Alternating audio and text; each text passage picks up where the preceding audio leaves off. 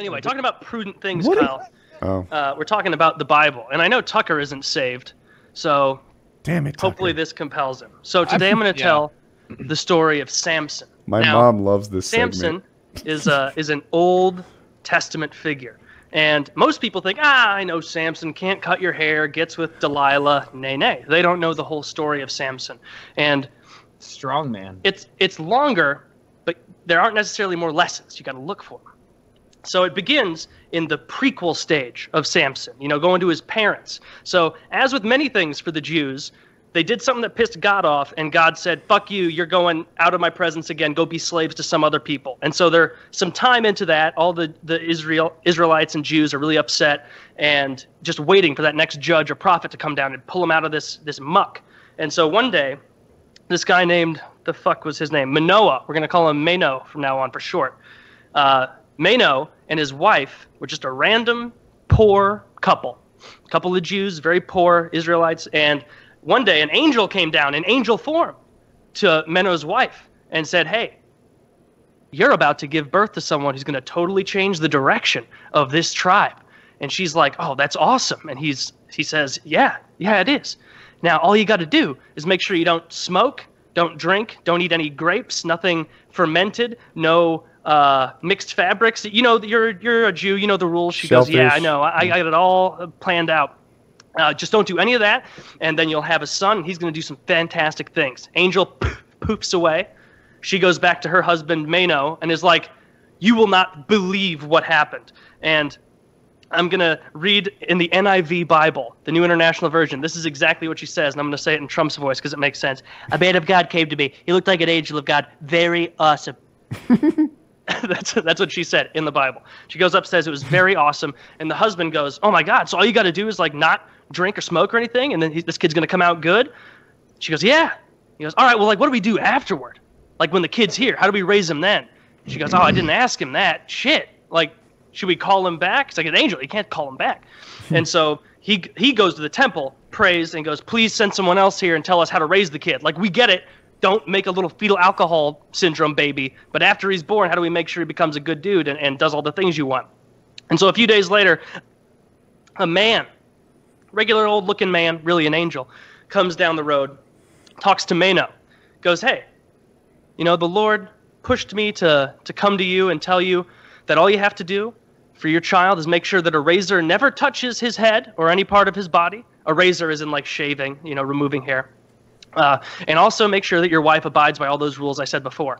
And he was like, okay, yeah, that, it's not that helpful, but you are just a guy. You're not an angel, so I guess this is how God wants me to figure it out. Okay, whatever. He doesn't know this guy's an angel. He goes, well, at the very least, let me be hospitable. Stay with me for dinner.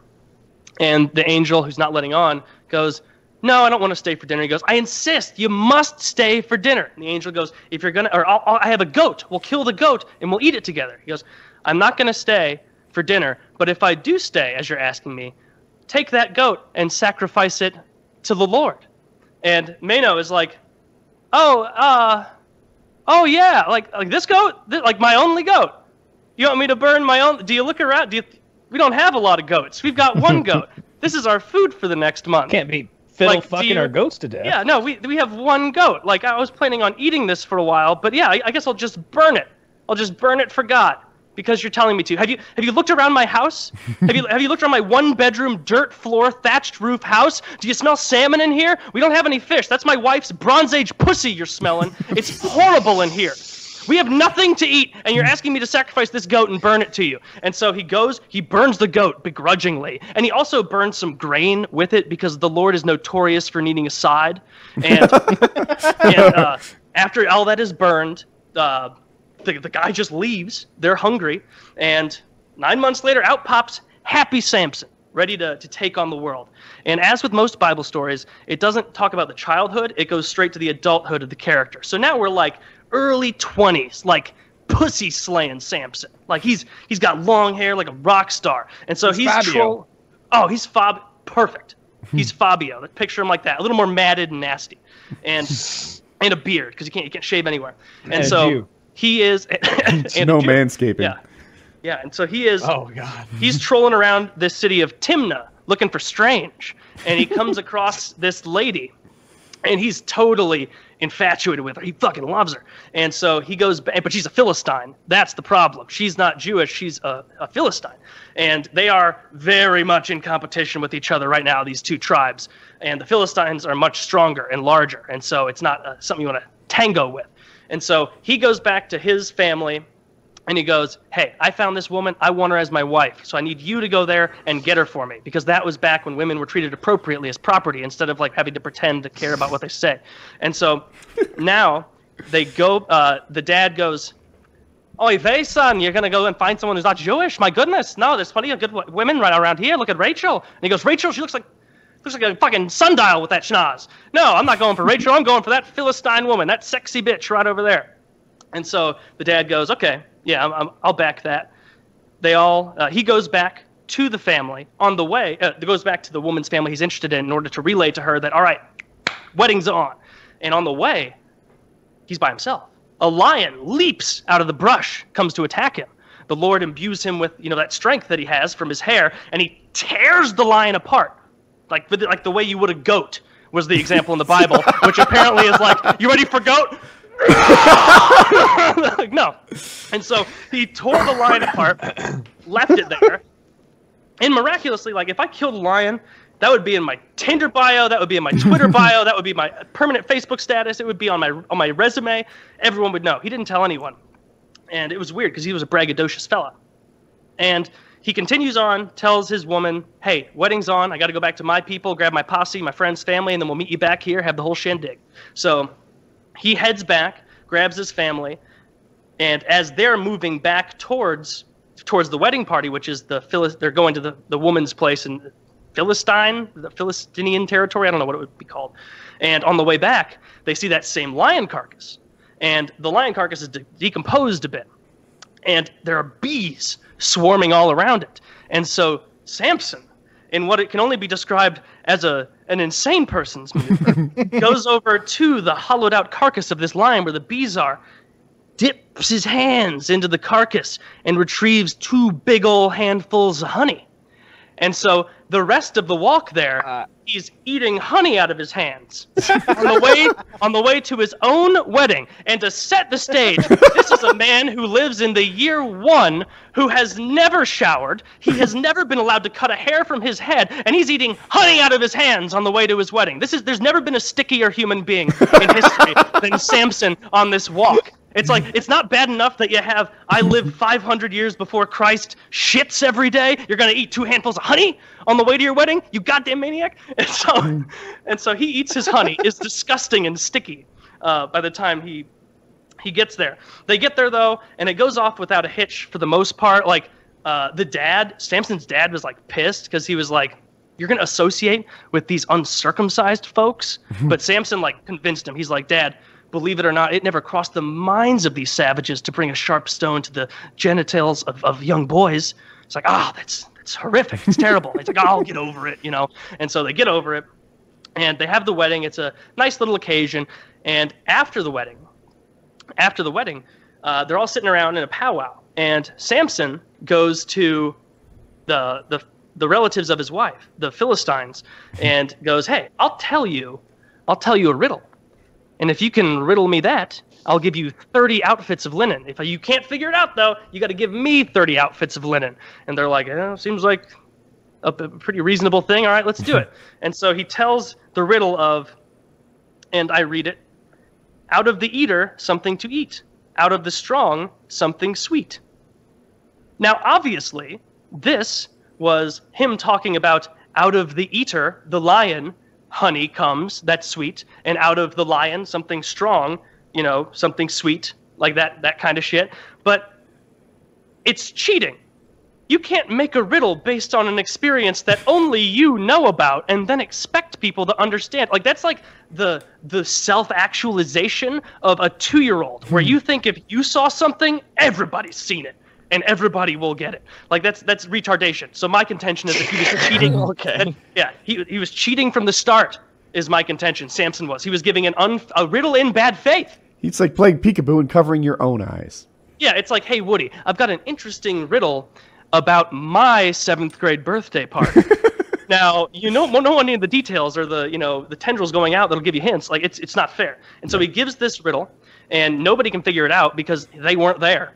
And so like two days later, the family of the woman go, hey, you got to get this fucking riddle because I don't know if you've looked around, but we're not exactly running a fucking courtyard Marriott. We don't have linen to hand out. Like we, we're, we we took this assuming we know the riddle. We're pretty good riddlers, but we don't have any linen. We're going to be humiliated and, and embarrassed, and we're not really on friendly terms with the rest of their tribe. Just this family now. And so she goes, okay, I'll go do it. And so for the next five days, she the, the word nag is used in the Bible. She nags and cries and bitches for so many days in a row that eventually Samson on the last day goes, yeah, okay, okay. The answer is the lion. The answer is the lion and honey inside it. Okay please, oh my God, week one, week one of our, of our marriage.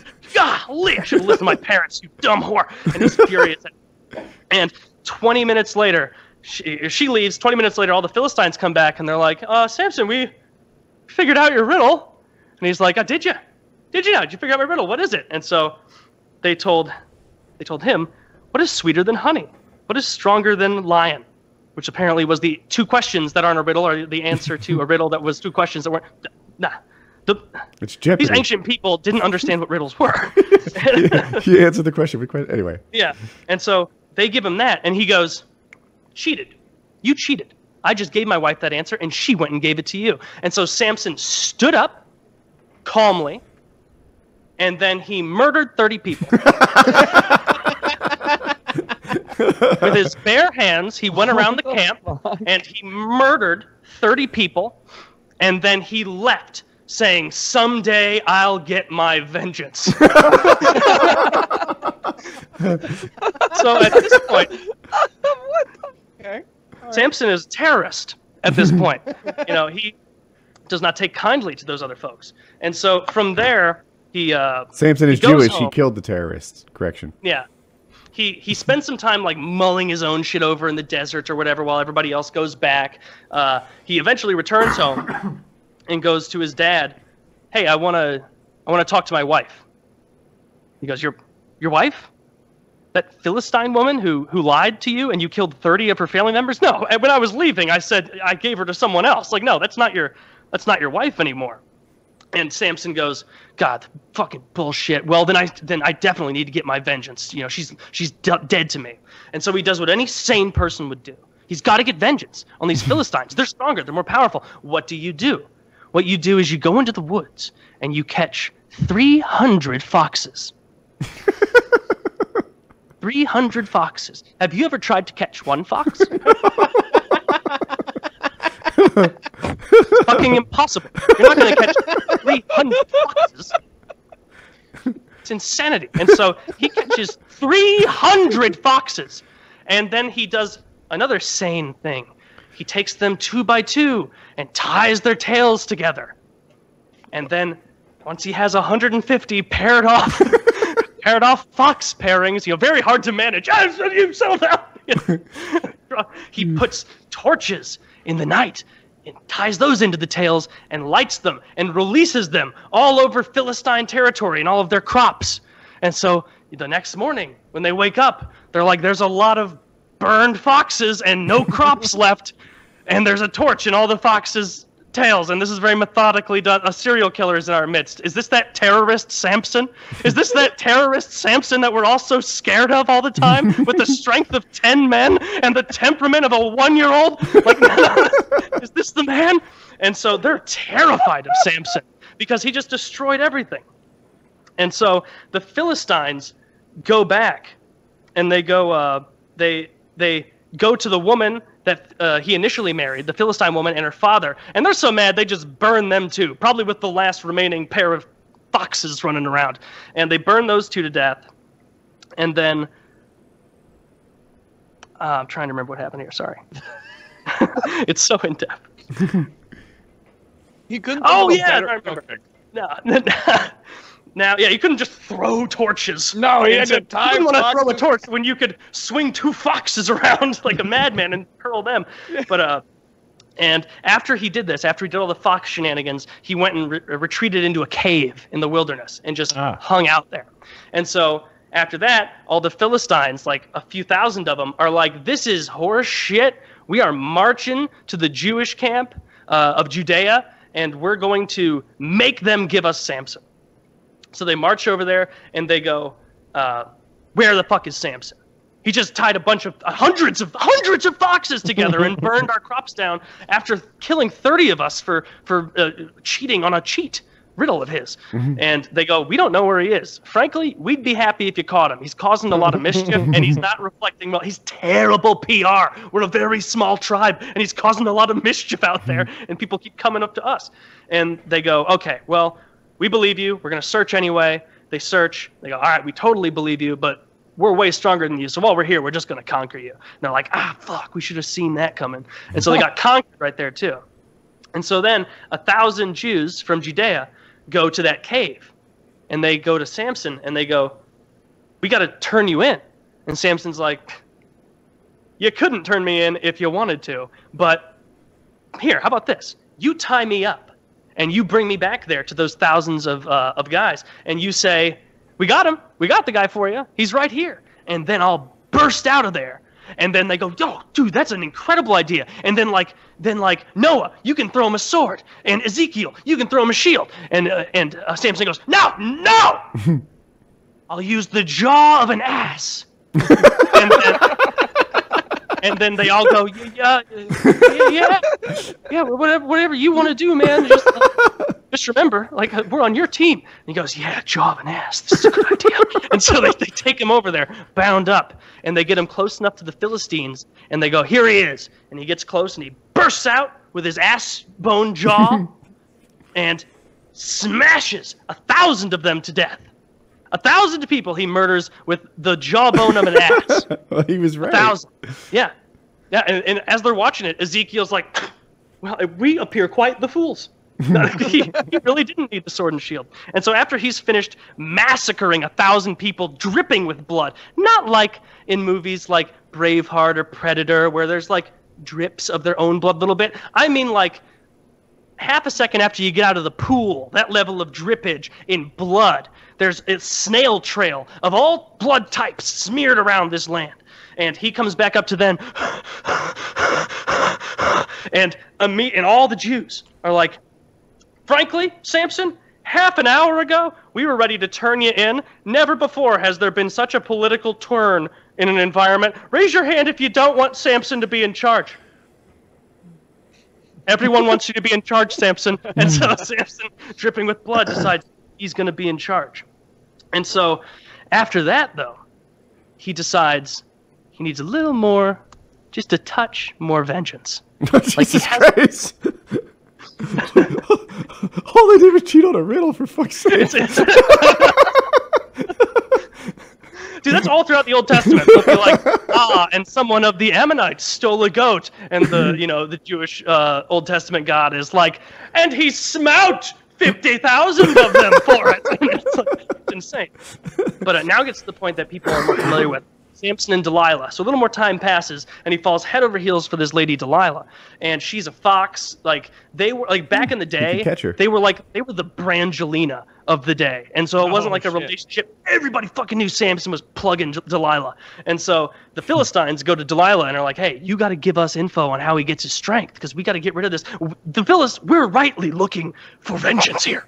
We've lost thousands of people to this madman. Look at that. We don't know where he is. We're whispering right now. He's terrifying. Like, and so they they basically convince her to be on like a little secret agent. And so she goes to him one night after they bang, and she goes, Samson, what gives you all your strength? And he goes, Well, if they'd only known to tie my hands with seven unused bowstrings, they would have never had that problem. I would have been as weak as any other man. And so during the night, she tied his hands with four unused Oh, bowstrings, woke up to, or seven, I'm sorry, seven unused bowstrings, and the Philistines are there waiting, ready, anticipating picking him up, and he wakes up, bursts out, and murders a dozen or so of them. you know, this time in self-defense, fair enough. And then I guess they go back to bed, being like, "Why I oughta," you know, to Delilah. and then the next day, he tells her this rinse and repeat. You know, why why would you lie to me last night? And he doesn't ask why'd you try to have me murdered and captured. He just goes with it because he's an idiot. And he goes, "All right, well, if you use like brand new rope, that'll get me. I, I, I've, they've only ever used used rope on me. That's why I can burst out." And so they do that. Once again bursts out, and the 12, anticipating and terrified Philistines, like, we know what happens here, guys. we didn't want to be here. oh, we're group two? It's always group three or four that gets them. Like, and that's, Damn we, we saw what you did just now. I don't. oh. Ah. The bodies are still here. Samson, I told you to move them. and so he murders all of them. Then I guess Delilah once again gets off scot free. The next day he tells her, if you braid my hair in this way, I'll, I'll be helpless. So she does that. The third group of a dozen or so Philistines stand up. He's like, I'm not even tied up this time. Wah, wah, wah, wah, wah. And beats the shit out of him, kills him. And then finally, she badgers him enough that he goes, My hair! My hair is the source of my strength. If you cut it off, I got nothing. Jesus Christ, will you shut the fuck up? like, th- he's Samson has terrible choice in women, uh, but it's good to see some things never change. So, uh, the next day, he's sleeping, or next night, evening, or next evening, he's sleeping. She snips his hair off.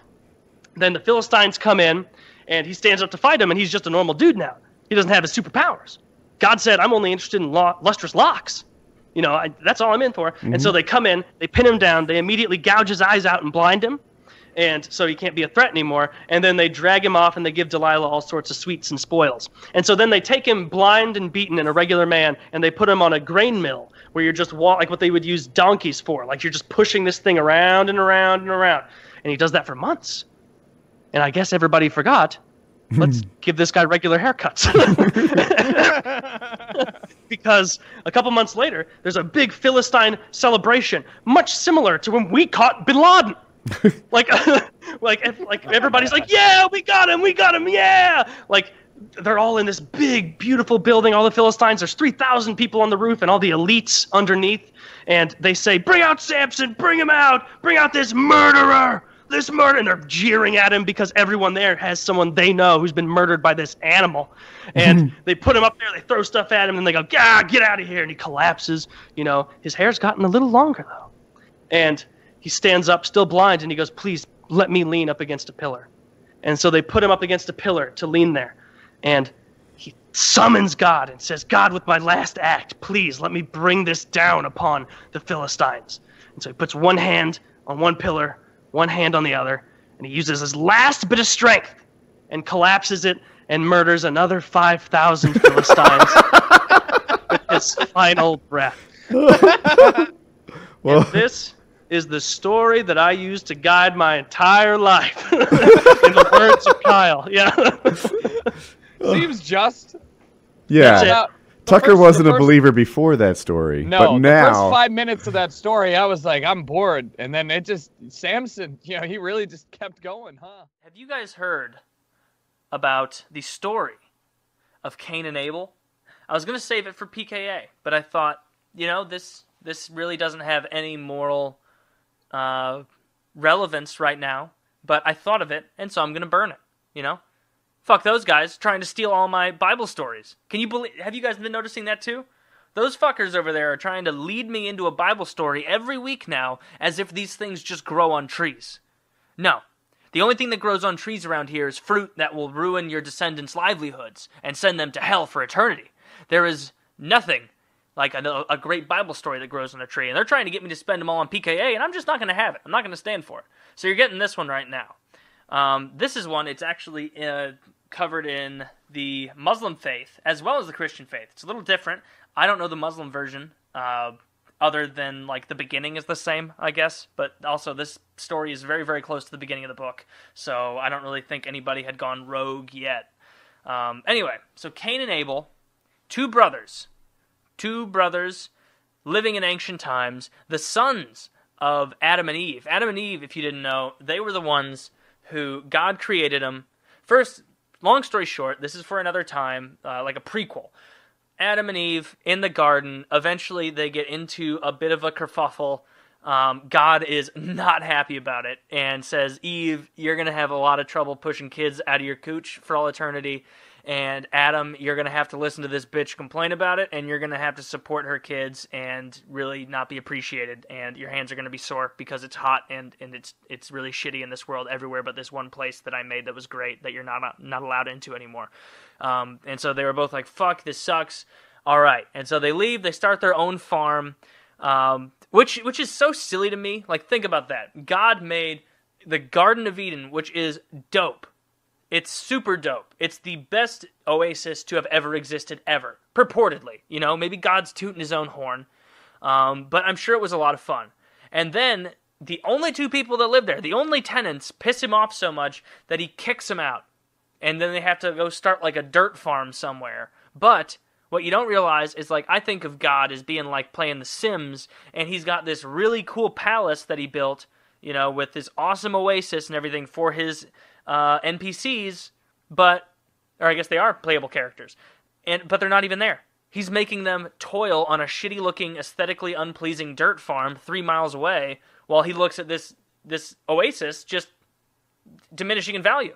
You know, I, I, I never understood that. I feel like God would at least give him more chances because he would think like, hey, I went through all the time of making this fucking oasis.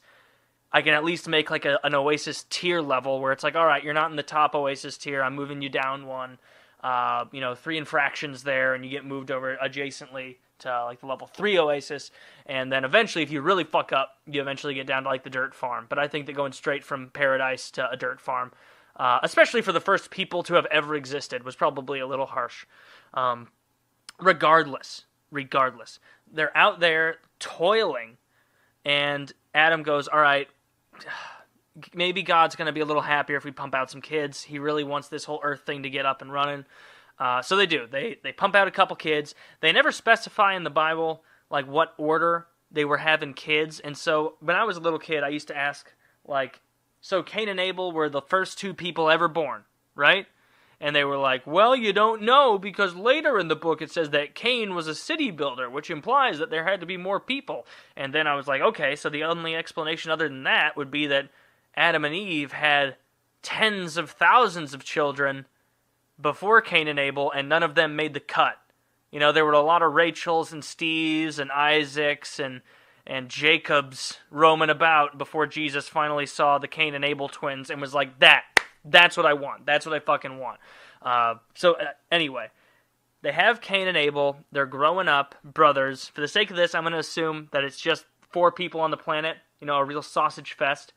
Uh, because it doesn't make any sense to assume there's already cities of their children living elsewhere.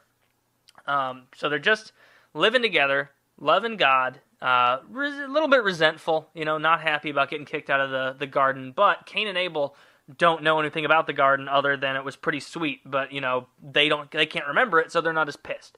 Uh, they've only ever known the dirt farm. So God, at this point, still chit chats with all four of them. So it's like a sitcom almost um, like a Seinfeld with someone screaming down who's benevolent, uh, or not so much benevolent as just kind of fickle.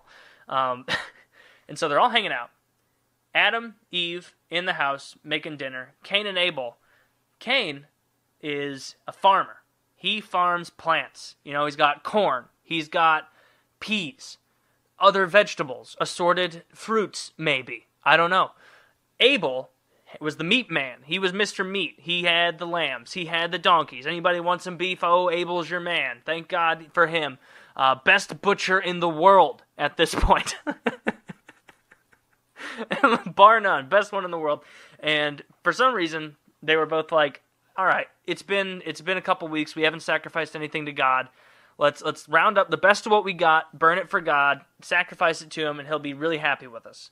And they both go, all right. Cain goes on over to his uh, his fucking farm, chops down the best bits of corn, the best soybeans, the best beets, you know, all the the, the colorful stuff. Like this wasn't your this was not the vegetables that come on the Big Mac. These are the vegetables that are on the poster for the Big Mac. He was like, you know, I'm not. I'm, I'm taking the best carrots. I'm taking the best potatoes. All of it. Puts it down. Gets shows it to God and goes, "Hey, you know, look at this. This is pretty great, right? Just as that's happening, Abel comes over, and Abel's brought like the firstborn of every one of his livestock's kids. And he's like, hey, God, I'm about to take this knife and slit like all eight of these animals' throats and let them bleed out right here because I think you're dope. I appreciate you, and I got your back. And God is watching both of them And at first, God was like, he looked o- over at, at Cain's plants, and he wasn't like psyched about it. Like, it- it's kind of like when someone brings, I don't know, what's a good example? It's like when someone brings vegetables and ranch dip to a grill party, or you know, you're watching the game at your house and uh, you have some friends over, and somebody brings beer, somebody brings chips, and somebody brings like uh, fucking carrots to dip. It's like, uh, fuck you. Like you, kn- you knew that we didn't want this. You knew none of us wanted this, and yet here you are. And that's exactly what God did. God looked down at Cain's offering, basically like spit at him in frustration and was like, This is some bullshit. I don't want plants. You knew that I didn't want plants, and you still got me plants. He looks over to Abel, and Abel by now is cutting the fourth head off of one of those lamb children, and God's like loving it, masturbating up there to the thought of that, that warm blood seeping into his earth, his dirt farm.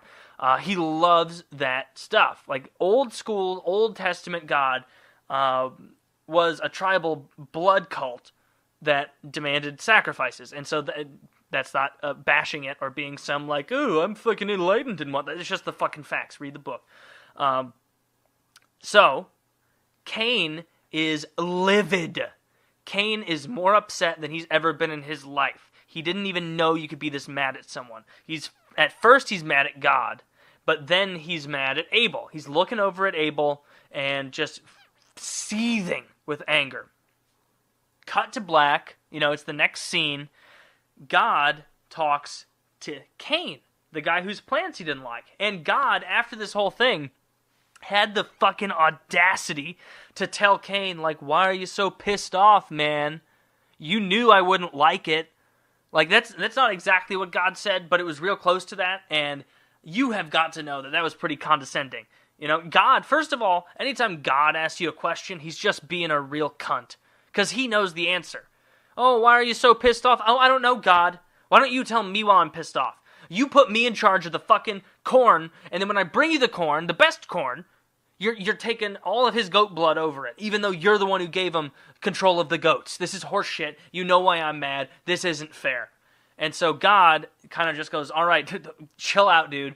This you you are so pissed off for no reason. You knew I wouldn't like it. Stop acting like you thought I would like this present. You know too much about me to think I would like this present. And so for you pretending that you think that I would like this present is actually really hurtful, Cain, after everything I've done for you. So I'm going to go hang out with Abel some more and you just talk to me again when you get some fucking uh, animals with blood in them.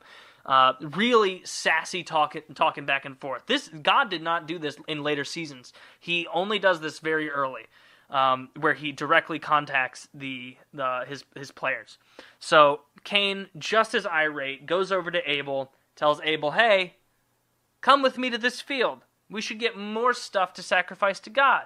And Abel's like, "Well, but we just did that." And Cain's like, "Oh, whatever. You know, just just come with me. That's the point. The point of this is come with me. You shouldn't be suspicious. There's no such thing as murder yet. Come on." Um, and so they're headed out to the field, and when they're way out in the field to where Cain thinks that God can't see, uh, Cain kills him. Just boom! Kills his own brother. Abel's dead. Abel is dead.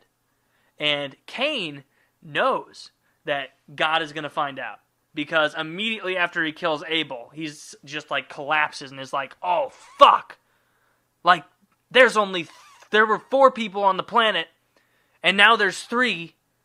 That's that's a 25% decrease in one day. The guy, he's gonna fucking notice. Like, he, even if he doesn't know our names yet, he's gonna know. One, two, three, I have a fourth. Where is he? Oh, I checked the whole world. He, he's dead over there. Fuck you, Cain.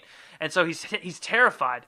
Um, I can go into this next part a little more later, like a part two thing, but suffice it to say that Cain was cursed, you know, called the mark of Cain. A lot of people thought that means that he was black. I don't know what that means.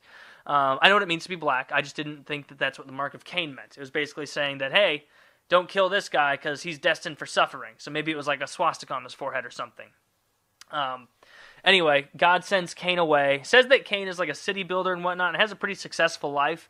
Uh, but it comes off more that Cain lived a life of like a real estate entrepreneur, and even though he made a lot of money and was successful, uh, he never could quite get over the fact that he knew God hated him and he was going to burn for all eternity in hell as soon as he died. Um, that would put a damper on any plan, but Uh, yeah, Cain was the first murderer, and Abel the first murder victim. So there you go. That uh, I'm I'm pretty sure that I got more of that right than I got the Job story right. And actually, I got the Job story pretty spot on. Aside from the last part where someone's like, "Oh, Job got his stuff back twofold, so it was really okay," but it's like, no, he fucking didn't. I guarantee he, even if he got twice as many fucking cows and goats and a bigger house, he still wasn't happy knowing that his entire family was murdered and crushed under the rubble, you know, covered in boils. Probably wasn't happy about that. Even worse than that is if God just sent back like two versions of all his kids. Now it's just upsetting and like a zombie scenario and, and nobody wins. Now now people dislike you even more on the block. But I guess you need that. You need more kids to take care of your bigger farm. Um, but I don't think they gave him more kids. Probably just more slaves because slavery was cool at the time. Um, anywho, let's get to some questions because because that was yeah, I just took a long long time to get nowhere right there. But um, anywho, hopefully you enjoyed that. Leave leave a comment with more Bible stories that you guys want to hear about. You know, and keep in mind, I will not research them, and I will not look into the facts of what is written down in that book. It's true. If we're looking for a new topic, I, I, I outlined a little Bible tale for us. It's been a hot second. Oh, I'd love that. What want one of those. What are you going to regale us with today, Taylor? I was gonna do Easter, but I wanted to do something a little less common knowledge. And so, Mhm. are either of you familiar with the tale of Shadrach, Meshach, and And Abednego? Abednego. wait, Yes. wait, say it again. Shadrach, Meshach, and Abednego. Yep, Yes. it's uh, Kyle Yeah. does know it. I Oh. went to church. Yeah, no, I legit thought he made up an eeny meeny miny mo type of thing. no, no, go to go to uh, Daniel three through six. I think is where. Yeah, I know because I reread it. Uh, reread it. Please don't tell me the story, and I just disappointed my parents. Yeah, no, uh, and your parents, Mister and Mrs. Woody's parents. Uh, I dare you to find one thing wrong with this. one factoid wrong with this. So basically, Shadrach, Meshach, and Abednego, three Jews hanging out in the Old Testament. Uh, and this is one of the many times that the Jews or the state of Israel was just getting, uh, or maybe Judah at the time, I don't fucking remember. They were just getting butt fucked by whatever powerful people there were at the time. There were the Babylonians, like Assyrians, like all throughout the ages. This was a Babylon time. And so they were under the thumb of King Nebuchadnezzar, the original Chad. And King Nebuchadnezzar was, he had his hanging gardens of Babylon. Like they were the most powerful empire in the world, in their known world at the time. And he had all this dope shit. And he had so much extra gold sitting around that he was like, you know, it would be tight. I'm going to build a 90 foot solid gold statue of like myself or some like guy who's kind of like me there or some, you know, God. They don't even like really say what it was. And so he built some dope ass statue, gold, 60 cubits high and what, six cubits wide. And I looked that up. That's like 90 feet high and nine feet wide. Like a cubit is apparently like one and a half feet. Okay. Hmm. So this is a lot of gold. It's a real flex on the rest of the world. And so he builds this and he's so stoked on it that he invites all of his I don't remember all the words I read them down all of his officials from the kingdom governors senators satraps I assume some kind of mayor judges treasurers everybody from every corner of the Babylonian kingdom all the high ranking you know hullabaloo people show up. And they're like you're right. You're right king nebuchadnezzar. This is this is really cool. And he's like it doesn't stop here guys. Anytime you hear music from and i'll read this list as i'll just read what the town crier said nation and people of every language this is what you are commanded to do as soon as you hear the sound of the horn flute zither lyre harp pipe and all kinds of music you must fall down and worship the image of the gold king nebuchadnezzar and so first of all pretty sure a lot of those instruments are made up so he sends all the governors and everybody back. They relay that same message. And Shadrach, Meshach, and Abednego, they weren't just like three random Jews walking around the street in like shitty ass sandals. They had like not the the overruling part of a province, but they were like a couple levels down. They they still had nice houses, nice shit. Like they, they weren't in poverty or anything. And pretty much immediately, as soon as this town crier said that, he added an addendum which Nebuchadnezzar also instructed, where he's like, and make sure they also know anybody who doesn't bow down as soon as all these made up instruments start going, they're going to be brought back to me. They're going to be brought in front of me, and I'm going to burn them alive in a really cool big furnace I also made. And believe it or not, that was compelling to most people. That got them on board. And so as soon as they heard the zither and the lyre, boom, right down, like almost like Mecca. They're like, even if you can't see it from whatever province they're in, they're like, I'm not risking some ancient cop finding me and ratting me out. I'm aiming right there and praying to Nebuchadnezzar. Right. Shadrach, Meshach, and Abednego say, fuck you. They don't say fuck you. They say, no thanks. No thank you. Their overseer goes to King Nebuchadnezzar, goes, hey, Neb. Neb goes, don't call me that. He goes, I understand. he goes, King Nebuchadnezzar, these three Jews, they're not bowing down. Did you tell him about the furnace thing? Yes, I led with the furnace thing. Of course I told you. of course I led with it. You fucking, you brilliant king. Uh, and so, and so Nebuchadnezzar is like, okay, well, bring them to me. Bring them to me. As far as I can tell, they're doing a good job on paper. But if they're not going to do what I want, bring them here. so he brings them there, and he tells them, hey, and King Nebuchadnezzar is like in the opposite situation of like a rock and a hard place with he's between like tits and ass. No matter which way he goes it's positive. If they show up and they say i'm not bound down he gets a handful of tit so to speak where he gets to throw them in the furnace burn them alive and ensure that everybody's like yeah that bitch is not playing. He will burn you alive. Bow. Or if they do what he wanted them to do, nice handful of ass, and they bow down, it's a little ego stroke where he's like, yeah, all it really took was them seeing me in my glory for them to bow down and do it. All right. And so they show up. He says, bow down or you're going in the furnace. No other options.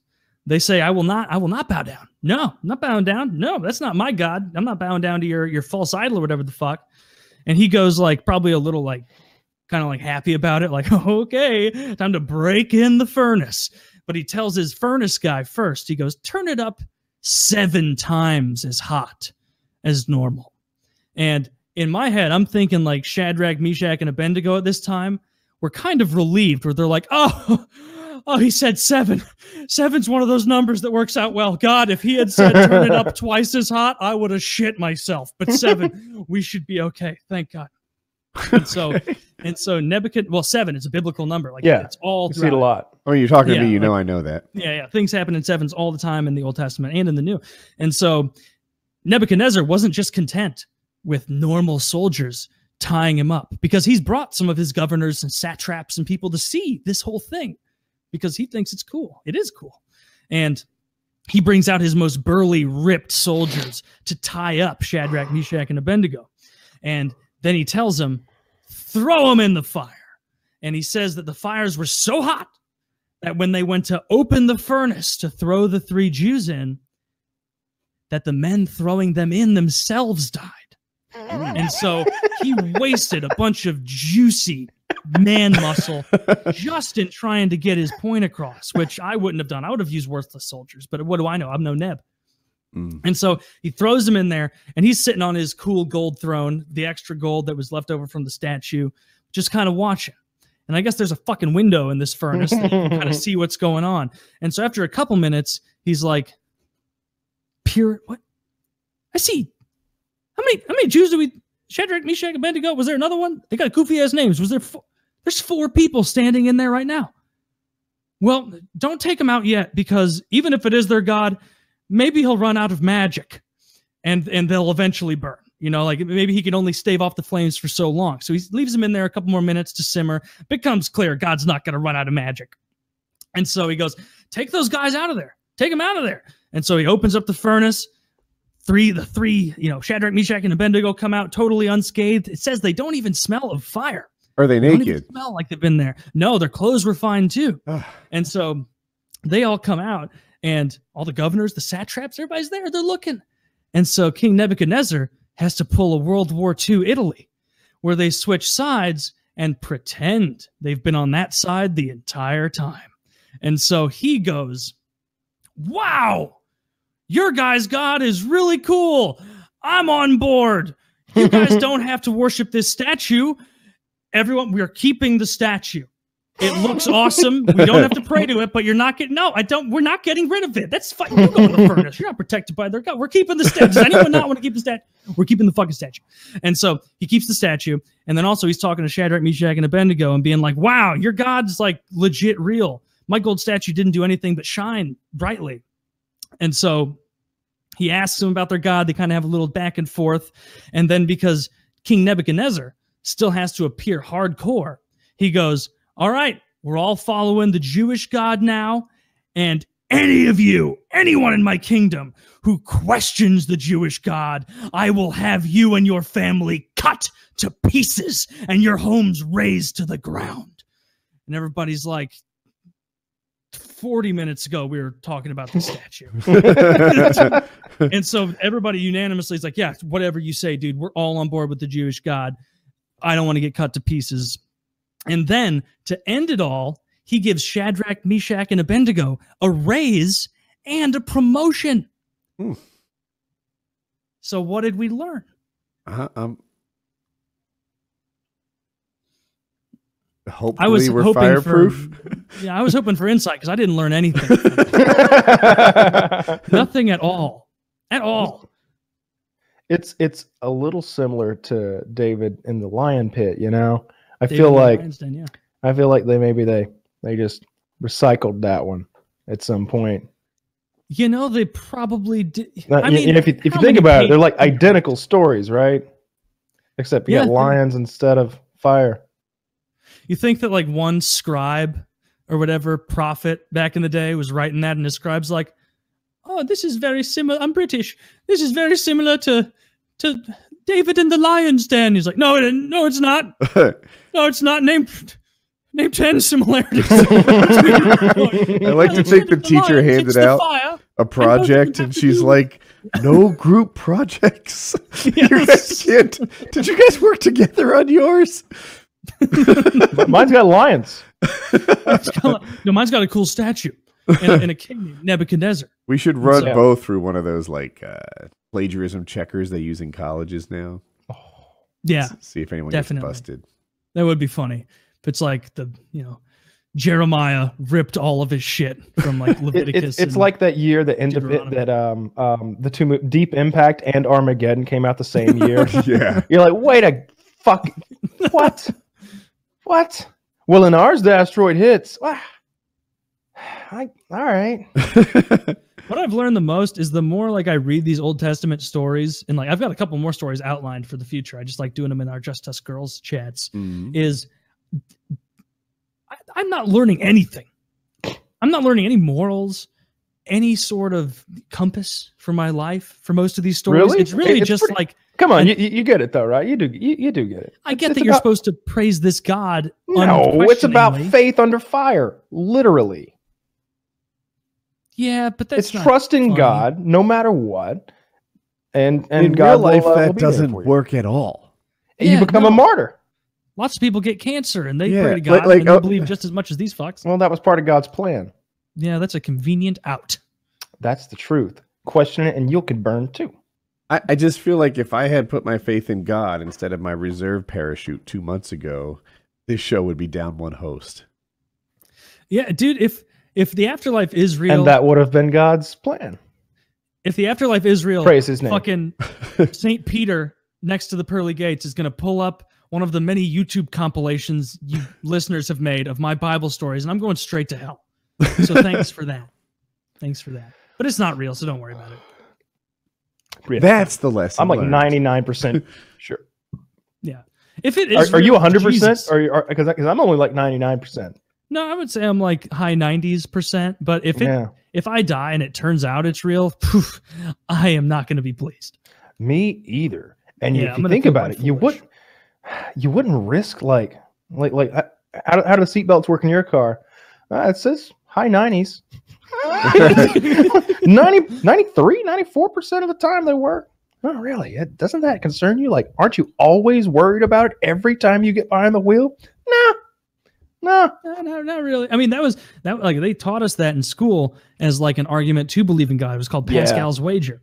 And it was if you believe in God and it doesn't exist, you haven't lost anything. If you believe in God and he does exist, you go to heaven. If you don't believe in God and he doesn't exist, nothing happens. If you don't believe in God and he doesn't exist, you go to hell. So it was like, well, mathematically, you should believe in God. And my thought even then was like, he's gonna know I'm faking it like he's, he's gonna know that I'm only doing it out of fear of not going to hell, and like He's that's okay not enough with to get that. into heaven. I don't. I don't think so. Based on what I've read, he seems pretty okay with f- scaring people into worshiping him. Yeah, Old Testament God was much more into the fear. Jesus was a little nicer, but Jesus also did. uh well, not even mean funny stuff like whip people and the uh, when they were like using his like the Pharisees and Sadducees were Mhm. using the church as a like a bartering ground and, and trading and financial place instead of using it as a worship place. He just goes in there and starts cracking the whip on all these Pharisees and overturning their tables. That was a that was fun. Yeah. Good for him. I liked that. Yeah, that was a good scene. I brought that up in my uh, my drug class in prison. Um, I don't remember how. Yeah, yeah. The, the the teacher was an How did that absolute moron, and uh, and and he brought up something like like he'd get he'd get like really stuck in the mud with the conversations. Like like he'd start arguing with with us, and we knew how to just like drag him down into the mud, so he didn't get to teach us anything. And something came up teachers. about something came up. I don't remember where it came from, but he, he was just like, you know, Jesus it would wouldn't would never did anything violent. Jesus was all about peace. And I'm like, what about the time he whipped all those guys? He's like, what are you talking about? The time he went to the where the tax collectors were in the temple and he whipped the shit out of those people and, and turned their tables over. He's like, oh. Well, those Yeah. were Jews. And I went, You said that? Oh, I, I think I just won. I looked around. It was just it was just three white guys and eight black guys. And I was like, shit, none of them are here to complain about this. Damn it. I mean, they Well, were those Jews, but they weren't just Jews. They were Pharisees, Pharisees. and Sadducees, like the bad kind of religious people that were just manipulating the Old Testament into making money. Are you But saying also, like- Jews are the bad kind because they make money? No, No, the the- they- Pharisees, the Pharisees were the bad kind. Evil. yeah. yeah. Just- that's why Jesus was so against them. He's I that's who he choose was to whipping. believe you said that. And also, like he said, Jesus never did anything violent. There's literally in Matthew a verse that says, "I bring not peace but a sword." Well, This guy didn't That- know his that was a fucking me- Bible. that was a metaphor. Not the way I do. Even better than Woody's parents. I- And I- if they want to dispute that, no joke. I think they're in Israel right now. That is so fucking funny. they're, they're like, yeah, they're getting extra lessons straight from the source right now. I Wait, would love- Israel. Yeah, so they, like, just they go walk around Jerusalem. Does she not know that like, like people in Israel aren't Christians? Some are. I, I don't understand Uh, most of them aren't. why it's so cool, but yeah, that's like their favorite place to vacation now. They go to Israel probably more than once a year. They the call me. I mean, if they're not in Israel right now, then they just came home. I wonder, do they have like nice beaches and stuff there? Like they're Yeah, right on the But Mediterranean. that's not what they're doing. They're like taking camels and checking out Moses' forty mile walk or something like that. Yeah, they do Oh, have nice sounds beaches though. I've. I've definitely seen them on the. Let me let me try to find a picture. Yeah. Yeah, she really He's uh, also in the book she show on Netflix. Bathsheba's him, which is. She Do are you familiar with that Bible tale? The story of Bathsheba Uh, and King well, I mean, I am, but for Kyle's benefit, for Kyle's benefit. Well, it's similar to this. Gather around, kids. So, King David was a king in Israel of Judah after the tribes had broken up, and he was God. God fucking loved King David. He he said, "You're a man after my own heart," and that means a lot when God's saying it because he also made a ton of shit people that he would never say that to. So he's all about David. David was dope. Did everything right. Eventually, he was up on his his roof of his palace while the war was going on, just looking around his kingdom, sees a naked chick in a bath on the roof. She's a fox, and he's he kind of looks at her for a little bit, like masturbates under like the the palisade, do. Um, and eventually, as you do, and eventually, after like laying sleepless nights, masturbating furiously, uh, hoping God wasn't watching, he eventually is like, "All right, I got to go over there." So he finds out that she's married to this dude named Uriah, and Uriah is a soldier in his army, and they're about to have a big battle. And David goes up to Uriah and he's like, Uriah, oh, dude, just you're just the fucking guy that I was looking for. My God, come with me, come with me. You You are fir- frontline fucking material, man. You are frontline. Show me your arms. Give me a flex. Give me a flex. Yeah, this guy. And so he grabs him and pulls him up to the front. He sets him there right in the front, and he goes, "You're gonna defend my homeland for Judah. You know, for Judah." And then then he goes, "But I am gonna fight back there because I'm the king. You know how it is." And so he, he backpedals, goes back to where he is, charges in. As they're about to fight, he goes, "Hey, you know that first contingent up there? Send them in. Send them all in? Nah, just, just that guy. Honestly, just send Uriah. Like, just, so they, they send that line in. They all just get massacred. Uh, they eventually just fall back. He goes back to his palace, goes to Bathsheba, goes, "I'm so sorry. Your husband was tragically and randomly killed in the battle." That we didn't even lose that many people. It was a really freak accident. I mean, I think the casualties were one. You know, one guy, your husband. You know, shit luck. It's the way she goes. Um, anyway, you want to come over sometime? and and she, knowing that he's the king and that God is all about her, uh, I believe she says yes, eventually. And uh, and they and they fuck. But but God, Jesus was God and Jesus, one and the same. They were not happy about that one bit, and so they had to send a priest, Nathan, to David at one point and did the whole Shyamalan twist where Nathan described the whole event of, oh, so, you know, this other, he, he basically says, what would you think about a guy who lusted after another man's wife and sent that guy's wife or his husband, that lady's husband to die in a battle so that you could fuck her? And David was like, that's awful. I would never do that. That's shit. And I think you're shit for bringing it up here. You fuck. Haven't you heard the God? God's on my team. And then Nathan goes, and Nathan's a fucking prophet. He had no idea. He had no idea it was a prophet. He just lied to a prophet. That's a big sin.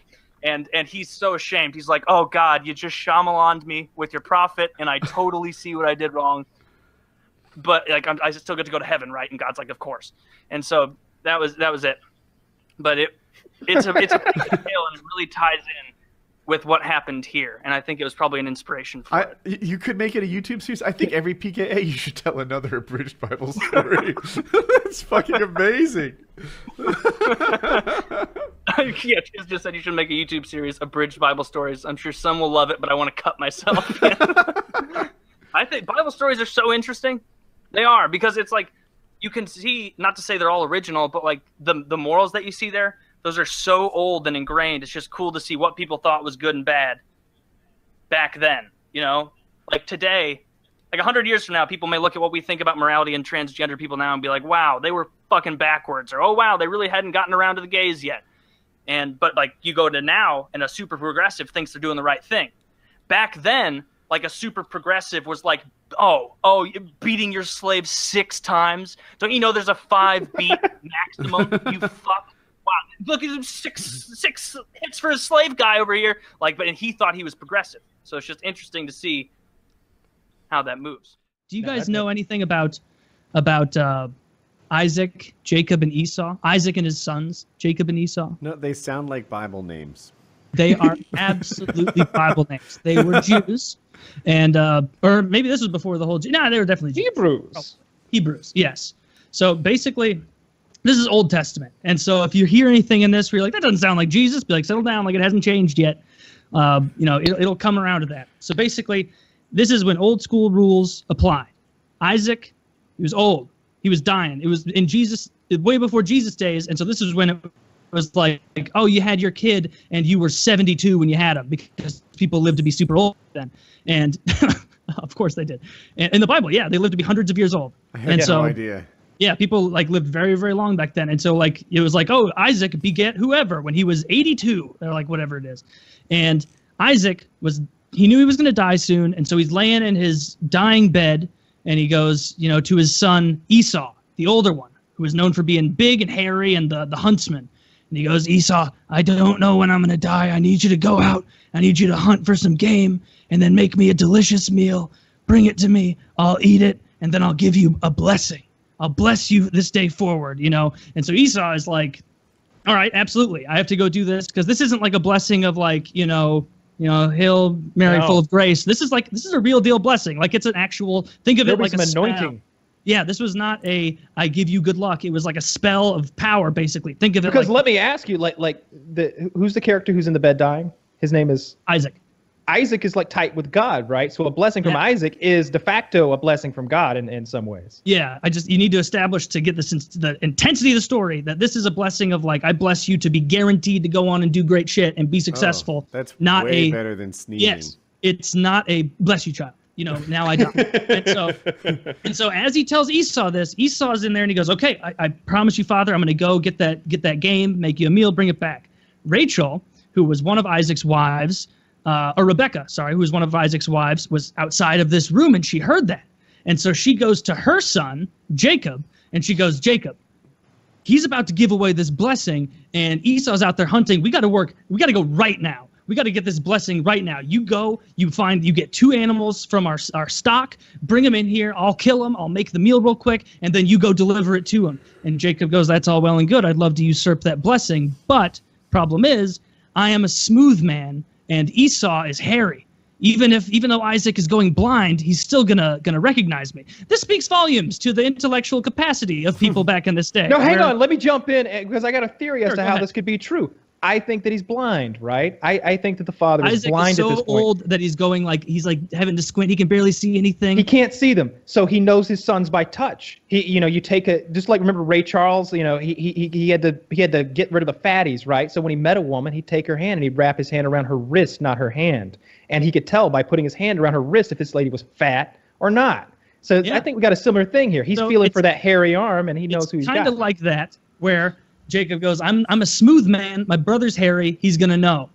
She Rebecca's like, "Uh, "No, no excuses. We're making sure you get this blessing because you're my only kid, and so we we're not letting this uh, hairy fucker Esau get it." And so he goes, "Fine." He goes and he gets the the animals, brings them back, slaughter them. She's cooking them up. And he goes, I'm not. When I go in there, there's, he's still gonna know it's me. Like it's my voice. I'm not hairy. And so she goes, I'm gonna go get two goat skins and drape it over your neck and then over your hands, over your hands, Yucky. as if feeling goat skin on someone's hands, is- whatever. And so he puts the goat skin on. He goes into Isaac's uh, Isaac's hut, and he goes, "Father, I'm, I'm here." And he and he, ah! Esau, is that you, my son? You you sound of Jacob. He's like, oh no, no, no, it's definitely me, definitely me, Esau, the guy you told to get food. Oh well, I did tell you that, and you know, and Jacob wasn't around. I trust you. Come, come closer, come closer. And he touches his hands with his old man fingers, and he goes, ah, my donkey-handed son is here. my, my, my, my hairy, Ah, hairy Worf, son. you've come back to me. yes. so, oh, you're here, you're here. Well, all right, give me my food. And so, so he sits down, he starts feeding Isaac the food, helping him eat, gets Isaac some wine, lets him lets him drink it, and and after he finishes it, Isaac goes, "Are are you really Esau?" Because even this even this blind man was not convinced by this masterful ruse, and and he goes, "Yeah, yeah, you're. I'm definitely Esau." And so he goes, "You, you sound just like Jacob, though. Like you sound just like him. Like I'm blind, not deaf." And he goes, "Okay, give me one more stroke of the hands." He gets one more hand stroke, and he goes, "All right, I'm good. I I, I believe it's Esau now." so he, he gets one more uh, one more hands of Esau touch, and Isaac goes, "All right, prepare for your blessing." And he says, "I want to find the actual blessing here, so you can Until he hear what it over. was." Yeah. So he said, "Come near me and kiss me, my son." And so he kissed him, his son. He smelled Esau's furs and the hunt- huntsman upon him, so he was comfortable giving the blessing. And this is the blessing. He said, See, the smell of my son is as the smell of a field that the Lord has blessed. May God give you the dew of heaven and of the fatness of the earth, and plenty of grain and wine. Let people serve you, and nations bow down to you. Be Lord over your brothers, and may your mother's sons bow down to you. Cursed be everyone who curses you, and blessed be everyone who blesses you. Wow. That's you- you pretty cover- fucking powerful blessing. You Yeah. cover a lot of bases with that. Wow. Mm. A lot Those of who bases. don't like you, they're fucked. Those who are tight with you, oh, those go they, they get risen up too. Oh. Everything you want is yours. You even smell good, bro. You smell it, nice. it facilitates an awesome dope life for him. And so as Jacob is leaving, you know, like 30 yards away, Esau's coming in with the stuff that he just hunted. and, and and cooked and made like he fucking slaughtered stuff out there, made a pot, made a fire, made all this shit, and and, and Jacob and is like is like taking those furs off real quick, throwing them behind the hut, and then running back into the house behind his mom. And Esau walks up and he he goes into to Isaac's tent. Esau goes, Father, arise, arise, eat of this meal I've prepared for you, so that you may bless me. And Isaac, with that look on his blind, you know, oh, I've been hoodwinked face, goes, But who was it that brought me food just a moment ago? I've already given your blessing. Who was that? And of course, Esau's like, Are you shitting me? like, are you, shitting me? Like, someone already came and get this? Like, there's only so many of us in the world right now. It had to be Jacob. Was it a woman? Was it a woman? No, then it was Jacob. It was fucking Jacob. There's not a lot of us here. So I narrowed it down. So and, and so he he says to his father Isaac, he says, you know what? Okay, I understand. Like I, I, he's he's violent, like shaking. He's so mad, but he goes, Father, you must have another blessing. You must have another backup blessing. Yeah, Does he have that shortage you were blessings? gonna- He just says them. that's the thing. He says, you know, Father, please bless me. Please give me a blessing. I need something. I've done this for you. And Isaac, like a fucking Radio Shack, no returns, no matter what employee, is hmm. sitting there going, I'm sorry. I can't. There is no more blessing for you. There's none. I can't give it. And Esau's like, this is ridiculous. Like, you can just give me a blessing. And Isaac, apparently being clued into God, is like, no, the words have been said. Uh, the spell has been cast.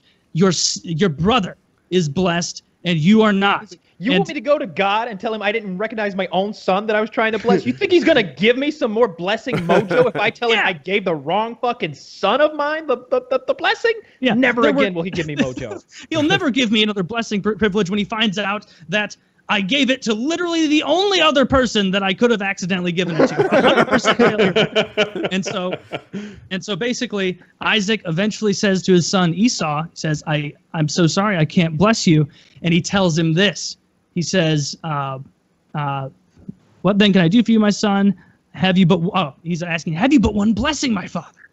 And Isaac says, Behold, away from the fatness of the earth shall your dwelling be, and away from the dew of heaven on high. By your sword you shall live, and you shall serve your brother. But when you grow restless, you shall break his yoke from his from your neck.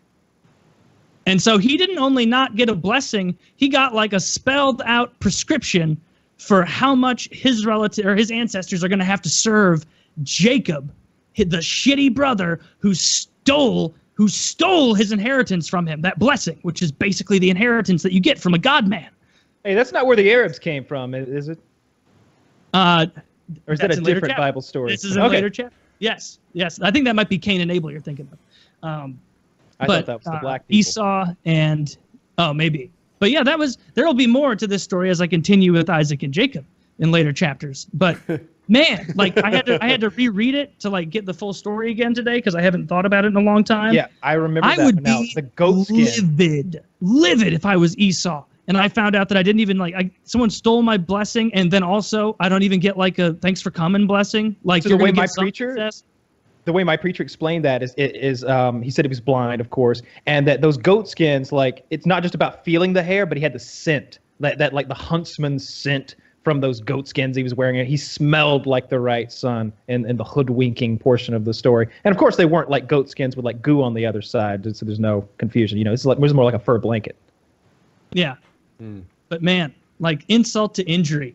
Being not that any like, of this ever happened of course No, but yeah, if you pretend it does, then it makes this it is more like fun. this is no different than us discussing that episode of House of Cards, right? Like, and then Yeah. he fucking pushed her in front of the subway train, and he became the president. Dude, but this is so much Spoiler alert, season This two. is- This is so much cooler than House of Cards because their story the stories are Because old as shit. true? Oh, my bad. Like it's so old that it's like I don't know, you can see morality like almost forming.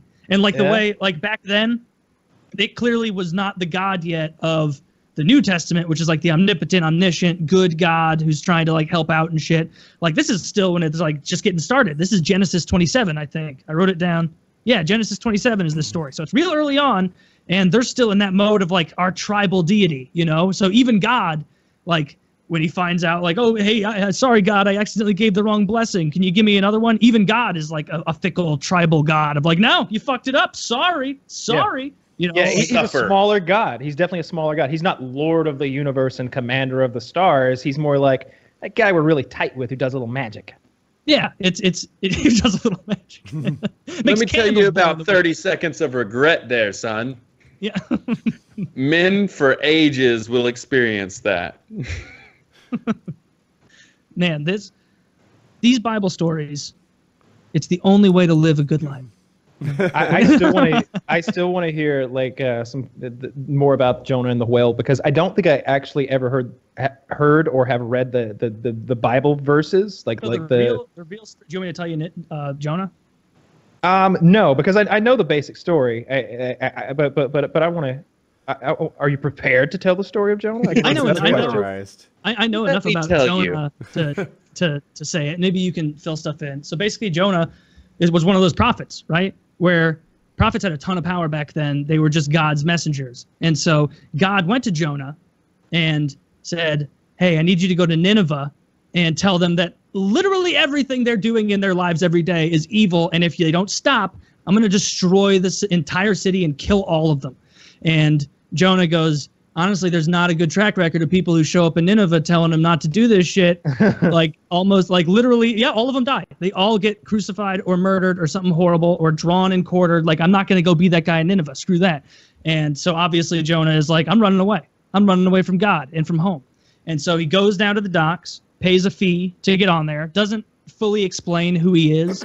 Uh, they they know he's a prophet, but they're not of the Judeo, the Judish Jewish religion, and so they don't really care. You know, they're doing their own thing.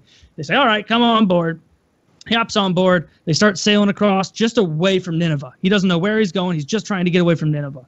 They get out there in the middle of the waters, and th- uh, the most heinous storm breaks out. That to the point that even though Jonah is down below, everybody up top is throwing a fit. They're freaking out. They're all like weathered sailors trying to survive, and Jonah's down there sleeping. And so someone comes down there and goes, Jonah, you're sleeping. Like this isn't, you know, a fucking Ramada 2,000 years from now. You got to get up here and help out. Like this is getting out of control. Come on, come on. And so he goes up there, and the whole time it's like, it's like Jonah is the guy who clogged the toilet that nobody knows it was him, and he is trying to help clean up the mess to where he's like, you know, he knows it's him, and is he's, he's like, yeah, it is totally gross. Like, what? Who did this? And like trying to clean it up and he's trying to help. And eventually, they're like, uh, they they get clued in a little bit more because they realize, Jonah, you you ran, so you you were running away from responsibility with your God, like you had to do something for your God, and you said no, and you ran away, and now you're on this boat with us in the ocean. You did that, and Jonah's like, I know, like hindsight's twenty twenty. and so Jonah is like, I'm, I- I'm so sorry about this, guys. Like, I, I'm still a man of my God, and and so you know we gotta we gotta we'll, we'll do we'll work on something else. You know, let's throw everything overboard first. And so they start throwing everything overboard that they don't need to survive for like one more day to get to shore. It's still not enough to keep them afloat. And so they start casting lots, which is just rolling dice to see who is going to be the person that they throw overboard because they have run out of weight and they have to get this. It's either one of us dies for sure or we all end up dying.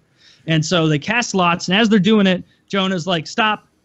I'm jumping off the boat. This is my fault. As soon as I jump off, you guys should be okay. God wants me, not you. And they're like, like doing that thing of like, oh man, are you sure? Like, hey, like, please don't. hey, you come back here, Jonah. Don't you make us twist your arm? You know, as he's like jumping over into the water. And so he jumps over into the water. Instantly, instantly, storm subsides, stops. What happens beneath the waters that you don't know? All the people that were on the boat are just, you know, they continue about their merry way, having been basically transitively proselytized to that the Jewish God is the true God. And so And scary. you know, and very, very frightening, which is important in tribal gods. Hmm. They go on out. They go on out. Jonah's in the water. God sends a giant fish, not a whale, because they didn't know that whales were not giant fish. They send a giant fish, swallows up Jonah. That's the part that everybody's familiar with. For three days and three nights, he lived in the fish's stomach. Basically, in like, if you look at ancient drawings of this, you see what they imagined these beasts' stomachs to look like, almost like, uh, like Woody's East Sunroom is what one of these things look like. Like just a very nice, spacious, you know, not too many organs, you know, mucking up the works, crowding it. It's just very, very nice.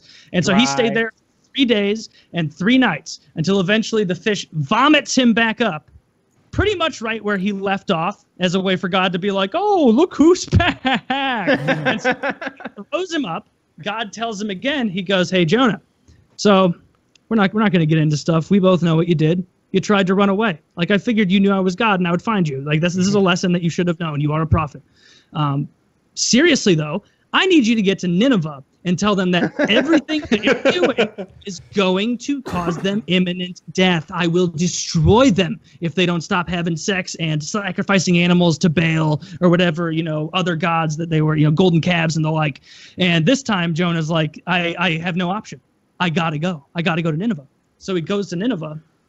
As he gets there, um, this is almost like a, bit of a Shyamalan twist to this story.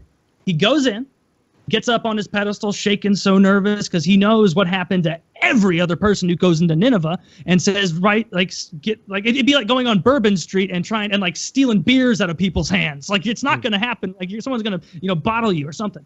And so he gets up there, starts spreading the word, saying, "Guys." If you don't stop, God's going to kill all of you forever, and your city will be gone mir- miraculously all of them look around and almost have a communal like well we had a good run didn't we nineveh? Like we really got raucous quite a bit of debauchery sex animals the whole nine you know but let's let's call it quits. This is the same guy who got swallowed by a whale according to that other fisherman who you know we all trust jeff right? So so and so then they all actually listen the whole city of nineveh takes it to heart and says, We are going to follow God. We're going to get rid of this sin. And so at the end of it, Jonah comes out looking like a real retard because the whole time God knew that Nineveh was going to come around. And it was almost like it was a test for Jonah's faith, you know? But it does seem like they only came around because Jonah defied God and, and experienced the whole whale thing and, and let some some Geneva or wherever the fuck people see that God was real, right? Ah, but you can't look that far into it. God cheated his own system. Like, like he, he's up there, like, no, I'm not gonna fucking make any magic for you to see, so you'll worship me. Well, I might Yeah. this time though. Just uh, maybe this time. It's he, he's ridiculous like that that God. You know, he's always doing the pulling Because if he really wanted us to sign on board, right? He, all he's got to do is show up. Like I, I don't even need like a seminar. Like like this doesn't have to be like a Tony Robbins thing where it goes on for hours and I'm in the audience like, yeah, he's really winning me over. Like I need a paragraph from this guy. Yeah. Just just make a make an appearance, be like float down. How are amount. you He's got- pulling all this out though? Like, like where, like, did you like, do you like uh, into Bible study, or did you go to a, a like what? How did you just pull that out? oh, uh, These are things So- Taylor knows. I went to I went to a private school, like a religious school, for a lot when I was younger, and so I knew I know all the boilerplate tales and hmm. such because I've been told them so many times. Yep. And I, as I was like in mid-teens, late teens, I got more into like looking into it, trying to figure it out, and so I just like read through the Bible, and and you know you pick a lot of it up when when you read it, and then Yeah. if you actually get an interest in it, it's like this is you know these are pretty interesting stories. It Like, I don't know ingrained any us. of it really, or remember any of it. I guess you could say. So that you could be qualifies you for second most knowledgeable in the Yeah. podcast. We had coloring books for this stuff, like You to really could- hammer home these points and the reason. You could be making thing. shit up for all I know, but you said it was such conviction Uh-huh. and like, like just your like pacing on it and everything. I'm like, oh yeah, may, well maybe, maybe that did happen. Yeah. Maybe it did. Maybe it did. Man, fuck, man. I, I, I, I mean, was gonna, maybe it was a I was gonna go whale. Lobstering in August, but fuck it. Now I ain't going near the ocean. He slipped shit in there, and he's like, yeah, "Hindsight's twenty twenty. and I'm like, "They said that." Well, I guess he said, yeah, "Okay." I guess. yeah, there's a lot of, of modern phrases in the Bible. you guys, you I mean, you don't know about. What do you they think may as well Tell me Motto? about Jesus. Tell me. Well, Jesus, you could go on forever because lots of tales about that guy. And uh, but yeah, these these obscure, more Old Testament tales, you can tell most of them, and if you get like twenty percent of it wrong, most people have no fucking idea. Like maybe one person will be like, actually, it was a, a, a different. Uh, that was Elisha, not Elijah, in that story, or something like that. But anyway, Didn't that's Elisha enough. become Elijah. No, Elisha is Elijah's protege. Bruce became Okay, which one? Which, who was the guy whose name changed when he when he when he, when when God when God came into his life? Like like he just Uh, became another Saul, guy. Saul became Paul. Okay, thank you. That's Yeah, a New so- Testament thing. Yeah. I knew the names sounded alike. It was like they didn't change it much, you know. Yeah. Saul used to persecute Christians, and then God came to him, changed him into Paul. Then he became one of the great proselytizers, you know, of of the era. But the, the end. Not not the end. There's a lot more pages. There's- books and books. Yeah, God's pretty shitty in that in that in that book. Like he's always playing favorites. Like like modern Oh, yeah. Christianity is all about how God loves all of us, all of us so much. Like they they hammer that home endlessly. God loves you so much. You, you, and no matter what you do, he'll still love you that much. That's why he gave his only son. Just just so you wouldn't have to sacrifice a goat to ensure that you get to go to his everlasting kingdom of heaven. That's what it was all about, you know? Because you and your evil sin that's part of you. And it's like, yeah, but plenty of times in there that he was a real dick, right? Like like just like a like a like a petulant child. Uh, a, a guy who like played favorites to the point where like if you saw that happen in politics, you'd be like, ah, this is fucking horseshit. Like who was the warrior king who was who like you you told the story before. There's the warrior king, maybe David. Is David, it David yeah. who sends the the soldier off to war so he can get with the guy's wife? yeah. And God's like, you know, all, all's fair in love and war, I guess, saith the Lord. God like So shows. this oh, is a regular thing you guys do? Occasionally, Uh, Once a month. yeah, at every least, once in a while. I'll, I'm gonna start doing it more because I think they're fun. yeah, Bible stories are good. That I mean, like, I- like there was no like hesitation, no like lull in that story. I was like, oh wow. Well, he's got notes. Did I see, did I see something? not for not wanna- for Jonah. I had I know to you. take Yeah, you knew Jonah Isaac off the top of notes. your. But Yeah. um, yeah, God fucked up on accident a lot in the Bible. No, you can see like one of his first fuck ups with the Tower of Babel, where everybody on earth was speaking the same language and was working together to build the tower to heaven. And God saw it, and it was almost like he built a custom Civ game. And he's like, "Damn it, I forgot to set the settings right, and now everybody's getting along." Uh, all right, uh, break up the languages, go in different areas. Okay, all right, we're good. And so there's just a part of the Bible where it clearly he fucked up and they were all speaking French or whatever. And so he had to like invent a bunch of shit and break everybody up, get them get them fighting. Otherwise God it's just a peaceful mistakes story. The whole way through, God makes mistakes and errors, and He plays favorites, and He's jealous, and He's angry, and He's wrathful, and He's petty. Petty to no end when you consider that He's supposed to be a God. Like He's petty for us. He is petty for a human being. It's uh, those are the upsetting parts. He's a Bible. jealous God. Yeah. He is a jealous, and, and you hear that, in, and, and, and I'm, I'm saying this for you other two's sake. Like these are things you hear in church. He is a jealous God. He is Yeah, a wrathful like God. Like Ten you need to know. Commandments, Aren't a couple of them just about loving? Thou him shalt not worship false idols. enough? Yeah. No other gods, no Shall idols. come before me. uh, don't take the Lord's name in vain. Yeah. Um, uh, it's like honor the Sabbath. Um, no murder, no stealing. See, now those I can get Um, on board don't with, but, but adulterate my wife. It seems like you know, two or three of those things are just about loving me more. Like if they Yeah, are like- commandments, like thirty percent of them are devoted to just fucking. So much of the Bible is is There's There are- so there are fluff huge in that moments- list. there are huge moments in the Bible where like everything stops because because God doesn't feel loved enough. Like like Moses comes down with the Ten Commandments, right? And and, and they're down there worshiping the calf, and he smashes them. It, there's there's tons of like just people getting angry and like going like like like what did God? I always wondered like how did God feel about that, right? Like when Moses smashes the Ten Commandments. Like, Nah, he like- made new ones. He did, didn't he? Yeah, he Hmm. made him new. Like, but it, it, it betrays the time, you know, because it's like back in the day, you didn't want your tribal god to be the all-loving, all-caring, once everybody is part of your group. Like, no, Yeah. you want your god to be the insular, containing, we are powerful, we are mighty, fear us kind of god. Because guaranteed, those Ammonites over there, their god doesn't want anything to do with you. Fucking Their god is a ferocious war god who wants them to succeed and, and drink your blood or whatever. So, like, to be tribal like that, you need a god that's fierce. And Yeah. See? There that- you that's go why again. You got you got stories about the walls of Jericho and like what what we did to the I say we what the what the Hebrews did to the Hittites and all of those it, when when God decided that you were no good and then he got behind his people like there's just story after story of like cities being smoked and and God will like enumerate like what he wants done. He won't just be like they're against us, they must die. He'll be like and their children and their goats. Yeah. And if you see a baby goat that was born on that morn, and he is then he was born to evil, so you slaughter the baby goat as you would the adult goat. And he's like all this backwards talking that's like a metaphor for kill everything and everyone and salt the fields. Like Yeah. he's not a friendly kumbaya kind of god. He's like you said, he is he's a war god. You know, and, and and more often than not, he's all about destroying our enemies or protecting us. Yeah, Which but is what when they you get in when you get into like the what was it Eastern Roman Empire with Constantine, and he politicized Christianity as the official religion of the empire. I wonder that was that was post that was post Jesus. 'Cause When it was more like everybody come into our our fold and be a part of our team because I, I have this vast empire, and so obviously it's better if we can try and get everybody on the same page with some of this shit. You know, I it, from the stories, it almost seems like Constantine was like like maybe in like a fever dream was converted for reals though, right? Because because he saw the the hmm. cross in the air, right? Yeah, and he, then- uh, and before then he the rode next- into battle. And then he rode into battle the next day with the crosses on his shields, I think, and they fucking won when they weren't supposed to win. And he was like, "Oh, Rome is Christian now." Yeah, Then you get the then the popery leads from there. yep. The papacy. Not the kind that smells good.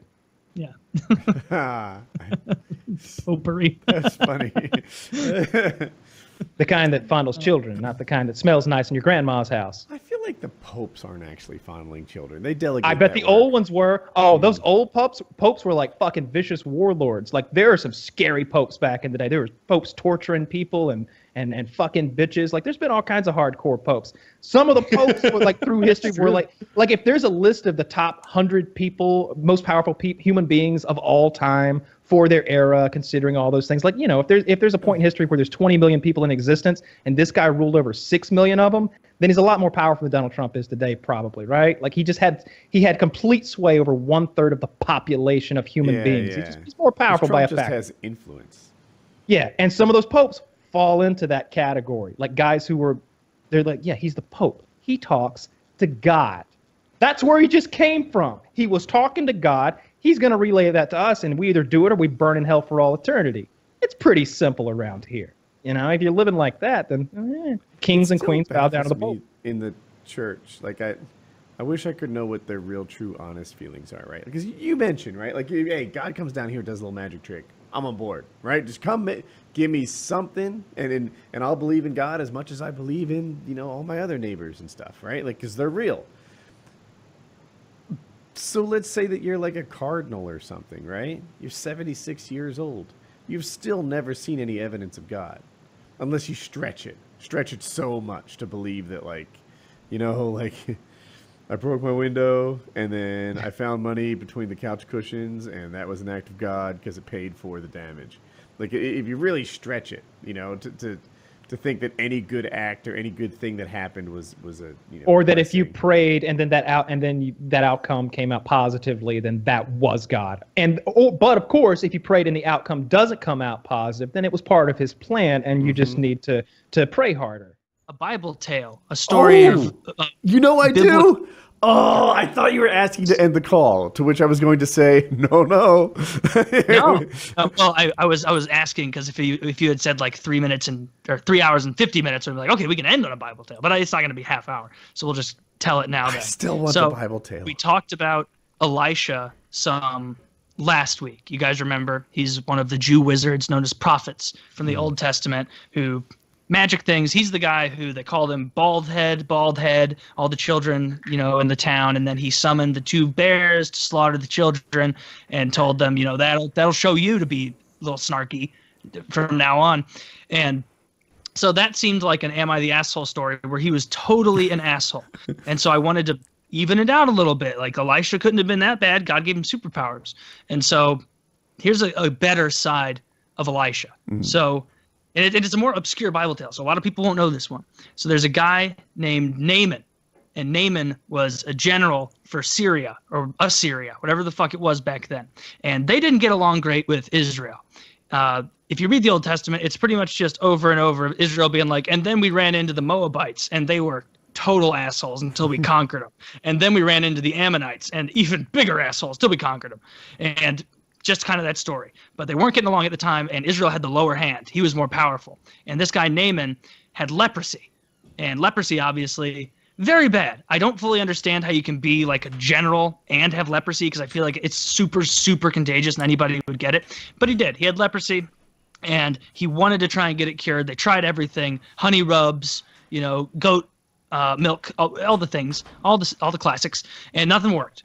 And so he goes to his king, I'm going to go seek out the king of Israel because that dude has this guy, Elisha, on, in his bench, and he's magic. He's an actual magic man who might be able to save me from leprosy. So I'm going to go give it a go. And so this guy reaches out to the king of Israel and goes, Hey, I'm coming over. Don't panic. just coming over for a bit.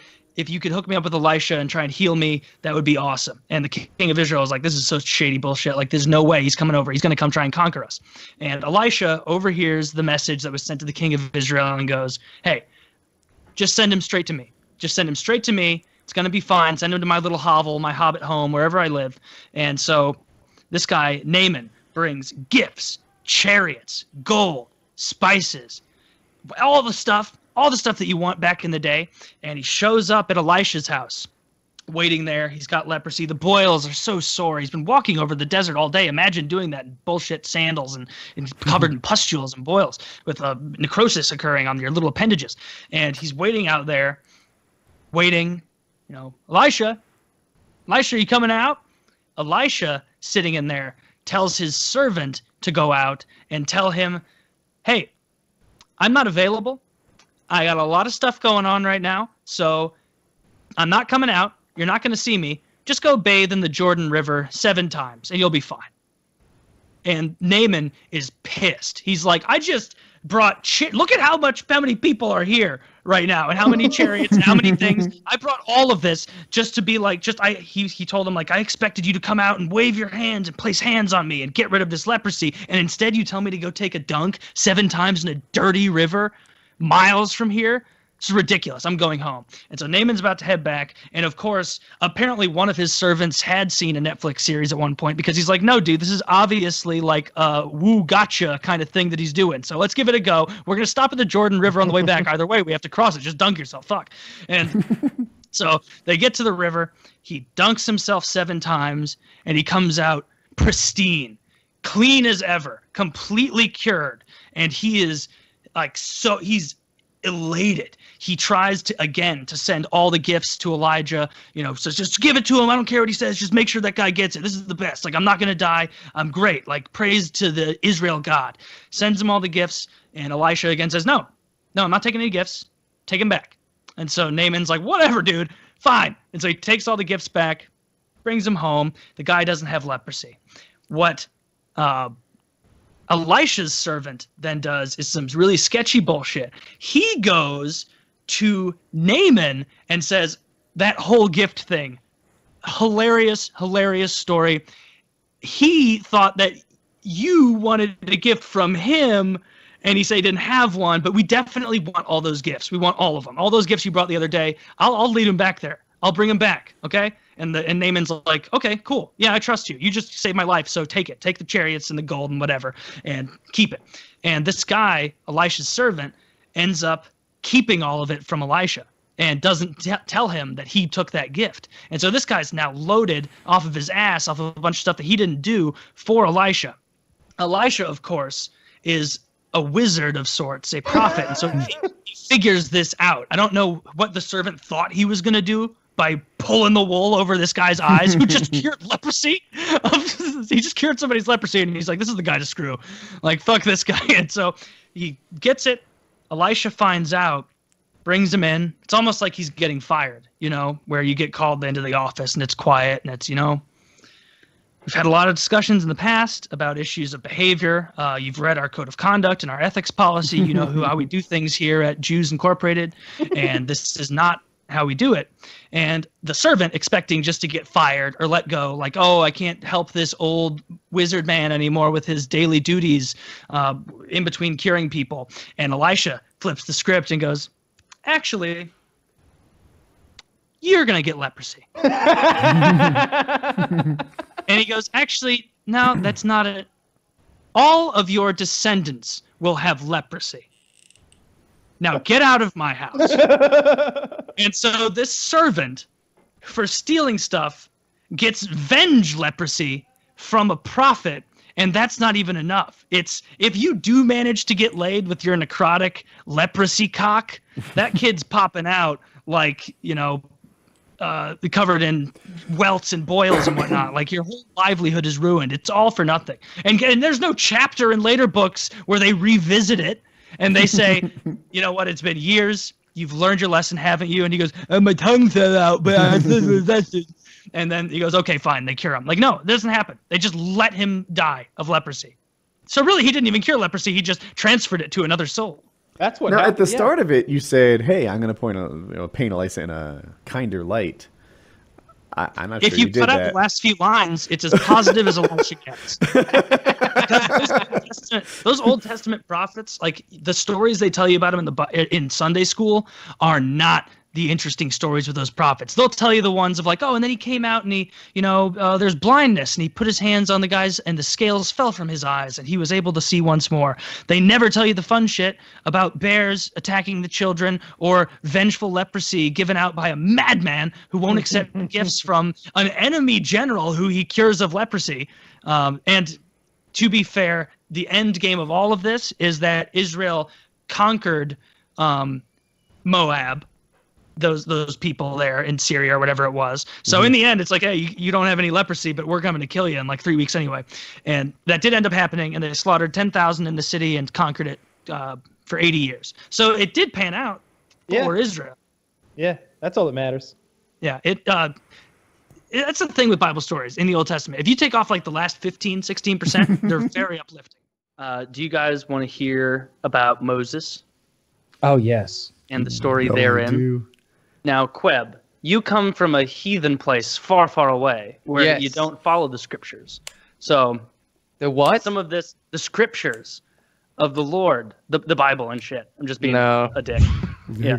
So, so this is a very long story. So I'm going to have to abridge some certain parts. I mean, So I know Moses- Moses. You know of Moses. Okay. Yeah. So you know you know who he is. So Moses was a Jew and he was born a slave in Egypt.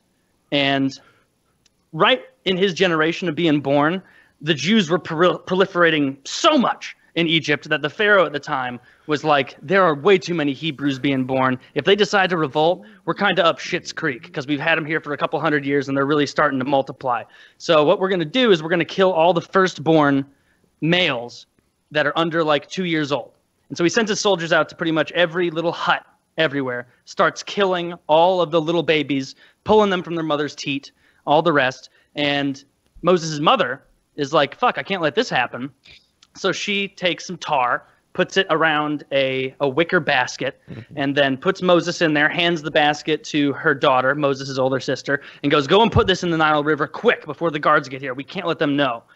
So she runs over to the Nile, puts puts Moses in, and then kind of hides in the reeds and watches. And before too long, you know, dodging crocodiles and hippos and whatever else was there in olden days, makes it to a bank, kind of gets stuck in some reeds near the palace of, of the Pharaoh. And the Pharaoh's daughter comes down, sees the basket, curious, picks it up, opens it up, sees a little Hebrew boy in there. And she's like, oh my God, so cute, so cute.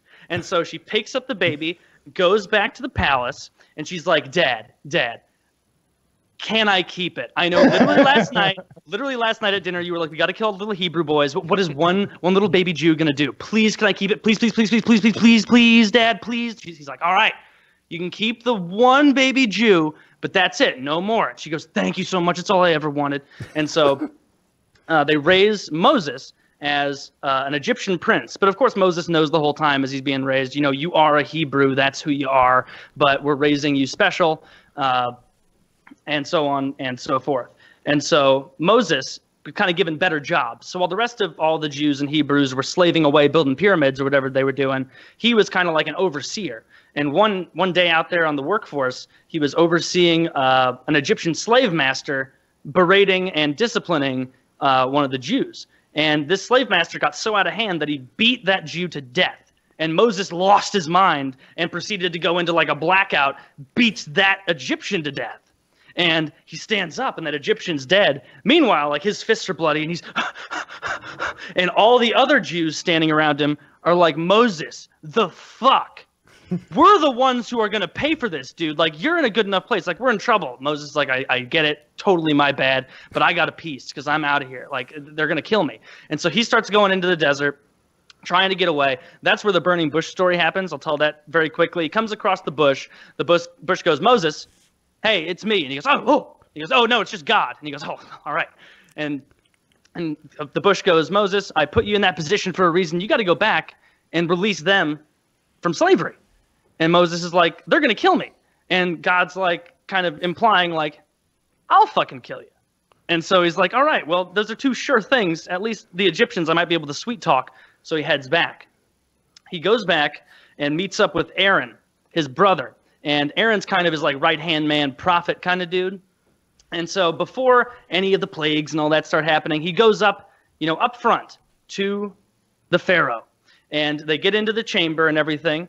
And God had told Aaron, hey, throw your staff down in front of the Pharaoh if he gives you any guff, and he'll be very impressed by what I'm about to do to that staff. And so they get in there pretty cocky, pretty confident. And Moses is like, hey, God told me you got to let all of the Jew slaves go. And the Pharaoh's like, why'd you even come back, Moses, first of all? And second, no, eat shit. Not a chance. No way. And so Moses gives Aaron like a sideways look, and Aaron throws his staff down, immediately becomes a mighty serpent, a big snake on the ground, slithering around the throne room. And the Pharaoh's like, frankly, that's pretty cool. So he summons his wizards and his warlocks or priests or whatever, and he goes, hey, guys, can you guys do the thing where you throw your staff on the ground and it turns into snakes? And they go, oh, yeah. Yeah, that, that's that's pretty fucking easy. So all like 10 of them throw their snakes, their staves on the ground, and all of them turn into snakes too. And the pharaohs and you know, so everybody's got a snake on the ground. Snake But makery. Aaron's, yeah, snake makery. And so Aaron's snake eats all of their snakes. And then the pharaoh's like, that's all well and good, but this was not a who can make the bigger snake competition. this was just a who can make snakes with magic competition. So I'm not convinced. Eat shit. I've got way more magic men than you, and way more sticks to turn into snakes if need be. And so Moses and Aaron leave humiliated. You know, it's like they got pants. So they go out there, and God tells them up front, He's like, "Hey, I know that I knew that trick wasn't going to work. You know, I just put, sent you in there to like, you know, uh, build, set the stage. But I'm going to send a series of plagues upon the people of Egypt, and I will harden the Pharaoh's heart so that he will not agree to anything after any of them until all of them are complete." And Moses and Aaron are like, "Why would you tell us that? Why would you let us know that no matter how good a salesman we are now, like you're you're you're going to keep them from saying yes until the very end. Like you, why why would you pull the whatever, you know? Because it, obviously they're not going to be as good a salesman if they know it's going to fail no matter what. So he tells them, all right, go down to the Nile, slam your staff all dramatically on the water. Every bit of water in the Nile and in every pot, every pan, every uh, clay jar in all of Egypt is going to turn to blood. And so he goes down there, slams the staff. Immediately, everything is bloody except for what the water that the Jews had. That's totally untouched. And so starts to smell really bad after like 2 days. And so they go back to Pharaoh and Pharaoh's like honestly, this sucks. I am fucking thirsty. Like and I've had nothing but blood for 2 days. so, Let's get your iron. and so and so he, and so Moses is like, "All right, well, are you willing to let us go?" And Pharaoh goes, "One sec, real quick. Hey, magic men, wizards, can you turn water into blood?" And they go, "Oh hell yeah!" And so they turn some water into blood. Pharaoh immediately goes, "Fuck, that was a waste. Can you guys turn blood into water?" and then they go, "No, we can't do that." And he goes, "Oh damn it." Well, Moses, I promise I will let you go if you turn all this blood back to water. And Moses goes, "Oh hell yeah!" Swings his magic sword, his magic staff rather, all of it back to water. Pharaoh immediately goes, "Ha! You fell for it." No, absolutely not. Eat shit. So they go back, and God is like, "Don't worry, I knew that would happen too." Moses is like, "This is gonna be this is gonna be a trend, Aaron. We better we better get used to this."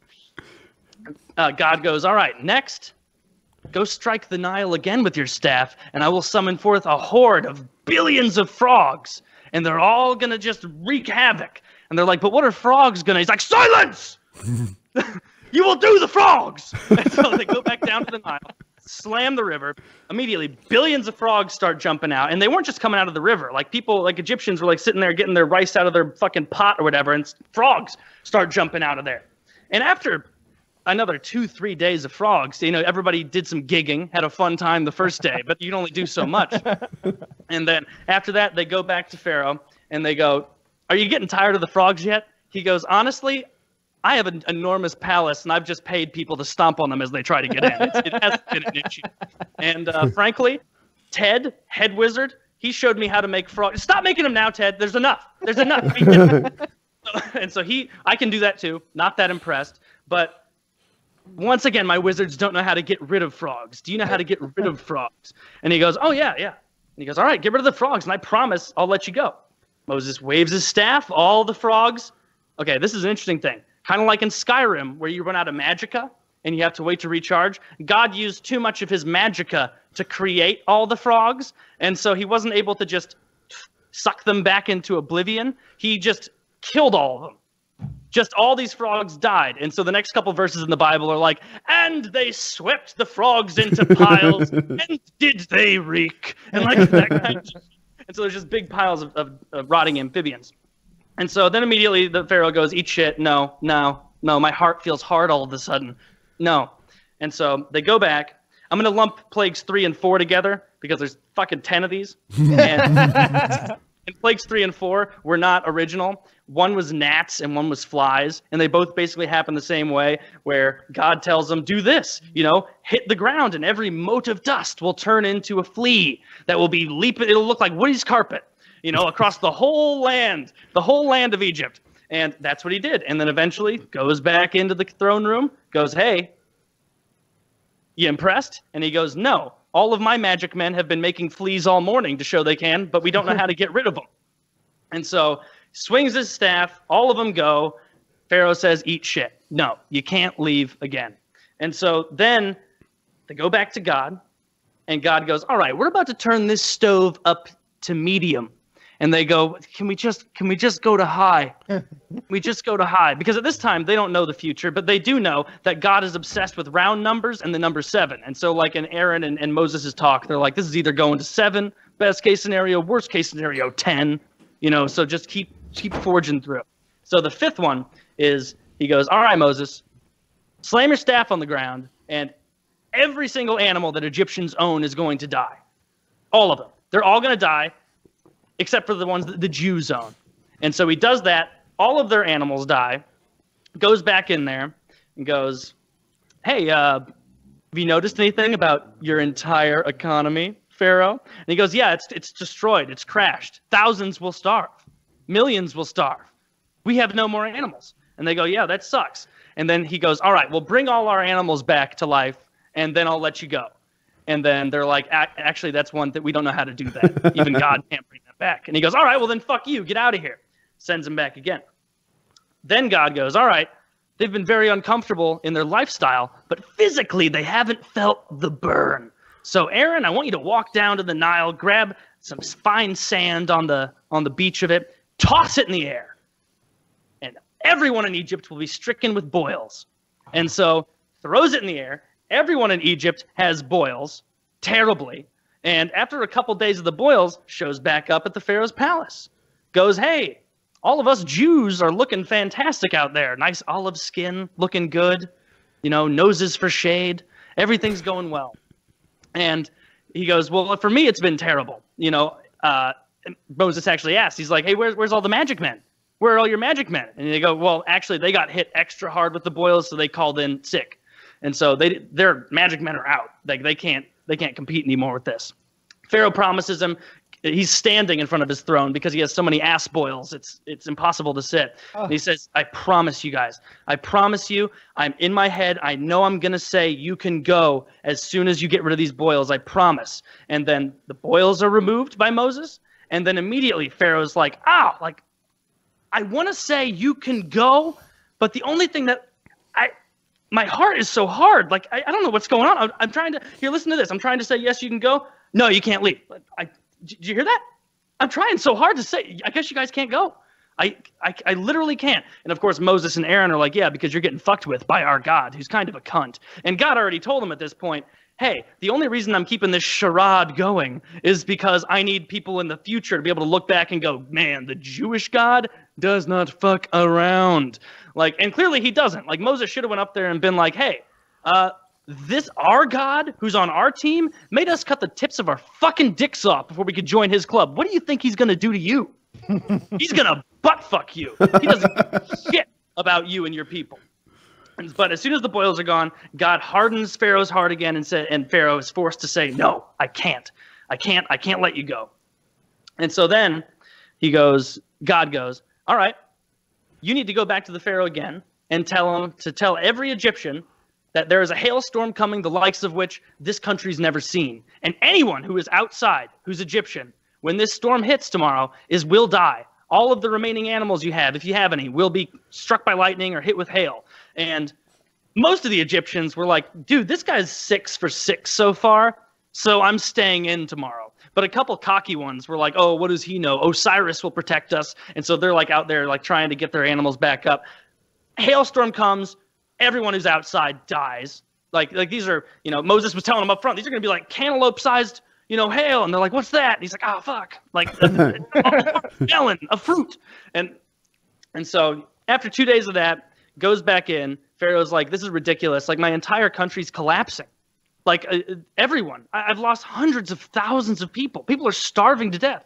Please, please leave. Just stop this storm. Stops the storm, and like a switch, once again, God like hardens his heart, and Pharaoh goes, No, you can't leave. Can't leave. Nope. And they're like, Are you sure, Pharaoh? And he's like, like in the eyes of someone in a movie who like has their mind controlled, where he's like, "Please get out of here, get out of here! No, you can't leave! No!" Like doing that kind of shit. Very fucked up. Very, very fucked up. And so then goes back again to God. Goes, "All right, what what do you have for him now? What can we possibly do?" And God goes, "Locusts, locusts. I'm gonna send locusts on him." And Aaron and Moses are kind of like, "That's your third bug related." That's what I was thinking. And uh, I'm confused in this because it seems like four times we've already destroyed all of their food, right? like we kill them all with this, we kill them all with that. What are what are we doing other than creating craters for us to walk through on our way out of here? Like what, what what's going on? He goes, I, I, obviously that part didn't happen in the Bible. You don't talk back to the Jewish God, and so locusts come. Frankly, a lot of the Egyptians were probably happy to see them because they could eat something. You know, suddenly these frogs were like, bring the frogs back, like that again. But they ruin all the rest of the crops. Hundreds of thousands of people are starving. Goes up to the Pharaoh, says, "Can I? Can we go now?" Pharaoh wants to say yes so bad. Gets rid of it. Pharaoh can't say yes. God forbids him from saying yes. He hardens his heart. So then he goes back again. The ninth one, which was basically the way this like climax worked, is that God was like building, like stroking himself, getting near climax, and when he got to the hail, that was like edging. Yeah. You know, where he was about to come, but he, he couldn't finish there. He has to get to the round number. And so then he had to like ease himself off a bit with the locusts. And then the ninth plague, which was darkness, where he just makes everything dark for three days straight. Day and night, total darkness. The only light is a beacon from heaven on the Israelites' uh, area where they are because they're still untouched. They're, they're hunky dory, good to go. A lot of resentment from the neighboring Egyptians, though. Uh, and so after three days of that, you know, Moses has to stumble back into the palace. He goes, Hey, we can't even, uh, Pharaoh rather goes, Hey, we can't even grow the crops back because there's no light. Please turn the lights back on, Moses. Turn the lights back on. Moses turns the lights back on, only to see Pharaoh sitting there, this right in his face, going, Hell for it again, idiot. And then sends him back out there. And he, and he says, uh, or no, that's a bit later. So he goes back out there, and then God, God's ready to climax by now. He's ready to come his wrath all over the people of Egypt. And so he goes back, and God says, Hey, we're about to amp this up. It's number 10. All the firstborn children of every Egyptian will die. All the firstborn animals of every Egyptian animal will die. Aaron and Aaron and Moses like, There's, there haven't been any fucking animals in five plagues. like, it's they're gone. And so, and so comes back. There's like way too many verses of God going to, to Moses and saying, All right, need to make sure the Israelites get this kind of goat, get this kind of sheep, do this, don't eat the bones, make sure you put the right amount of blood on the threshold of your door. And so the point of that is that God was going to send the angel of death to come into Egypt. And any house that didn't have blood of a one year old male pure lamb or goat on the top and sides of the doorframe, anyone who had that would be passed over. That's why it's called Passover for the Jews. You know, they're celebrating not being murdered by their vengeful God. And so, angel of death goes through, murders every single firstborn child in all of Egypt. The way they describe it in the Bible is that there was not a home in Egypt where someone had not died. Every house in Egypt, that because it didn't matter, like, uh, like if you're 50 years old but you were the oldest of your kids, you're dead. Yeah. You're dead too. Like if, if both your parents were first born, sorry, little Egyptian boy, you're dead. Like your parents are dead and your older siblings dead. And so it describes the wailing for a while in the Bible. And it says it was a wailing unlike anything that had been heard on this earth before. A wailing, a gnashing of teeth, and for the, the sadness that these people felt. And yet, and it wasn't the elite of Egypt. Every Egyptian, from pharaoh to slave, because they had more than just the Jewish slaves. And so some poor poor fucker from Babylon, who was also a slave, it's like, oh no, not my kids. Or like wherever the fuck he's from, he went up to Norway, grabbed someone, brought him down. Doesn't matter. Go back, and they're like about to enter the palace again, and Pharaoh like comes out on his his pa- his stoop or whatever, and is like, "Get the fuck out! Get out of here now!" And they're like, "Are you serious? Are you for real this time?" Nope takes his back seats, and he's like, "Yeah, for real. Get the fuck out of here." But what Pharaoh had forgotten is that he was not only dealing with God, but also with Jews. and so the Jews said, Well, before we get out of here, we're going to need some gold and some Jesus silver. Spices to, you know, make sure we're comfortable. And he's like, whatever, dude, whatever. Everyone, give give him whatever you have. Give him all the silver and gold you have. Get these fucking cursed people out of here, out of here. So they all load up in all their shit, and they head off into the desert, and that's where this chapter of the story ends. Prior to the whole Red Sea thing. Yeah. So that is a very abridged version of the Bible. I- and it's mostly true. It, it's absolutely not true at all because there were no Jewish slaves in Egypt. No, I'm saying according to the book, it's pretty Oh. true. I, I Oh. mean, the story I told was Ah, pretty I accurate. see. A- I- accurate to the Bible. I see. One of my saying. favorite things about Taylor Bible Time is that later on, a couple weeks from now, maybe even a couple months, I will get a call from my parents who fact check it and tell me, like, yeah, you know what? It wasn't that God was edging uh, and about to come during the sixth plague. And, and well, like I remember you described like uh, like I don't know why they mixed up his you know goat hair with it. My mom was like he was a very hairy guy. I think Taylor didn't didn't exaggerate that quite enough or whatever. But uh, yes, I Yeah, I can't mean- wait to hear my mom try to take that apart and tell me where you went wrong. I, I know, I've, that- I've seen the accurate. movie. Have you seen the movie? Yes, I have. the, the Disney movie. or Exodus, Gods Heston and movie? Kings. Exodus, Gods and Kings. Ah. So they they attack the situation of Moses in in two ways, where it's the religious people they go, oh, it's God has done this, and then you have the scientists which go, well, technically, if you take all the frogs away, obviously there's gonna be a lot of flies still alive, stuff like that. Yeah. It's it's pretty interesting. At first, I thought you guys were like pulling a prank on me with this whole Bible talk. This Oh, is no, a, this is I- a tentpole topic around here. I've like never in my few times that I've been on PKA, we I've never experienced Bible talk. Oh, it's highly requested. Uh, It's one of the Shut most highly requested topics, not to jack myself off. No, it's- it is, uh, I, I'm come a, from? I'm a huge fan of it because because like after you hear a ridiculous story like that, you have to stop and remember that there are billions of people who believe this and That's are willing fact- to factual. kill are willing to kill and die over over over these facts.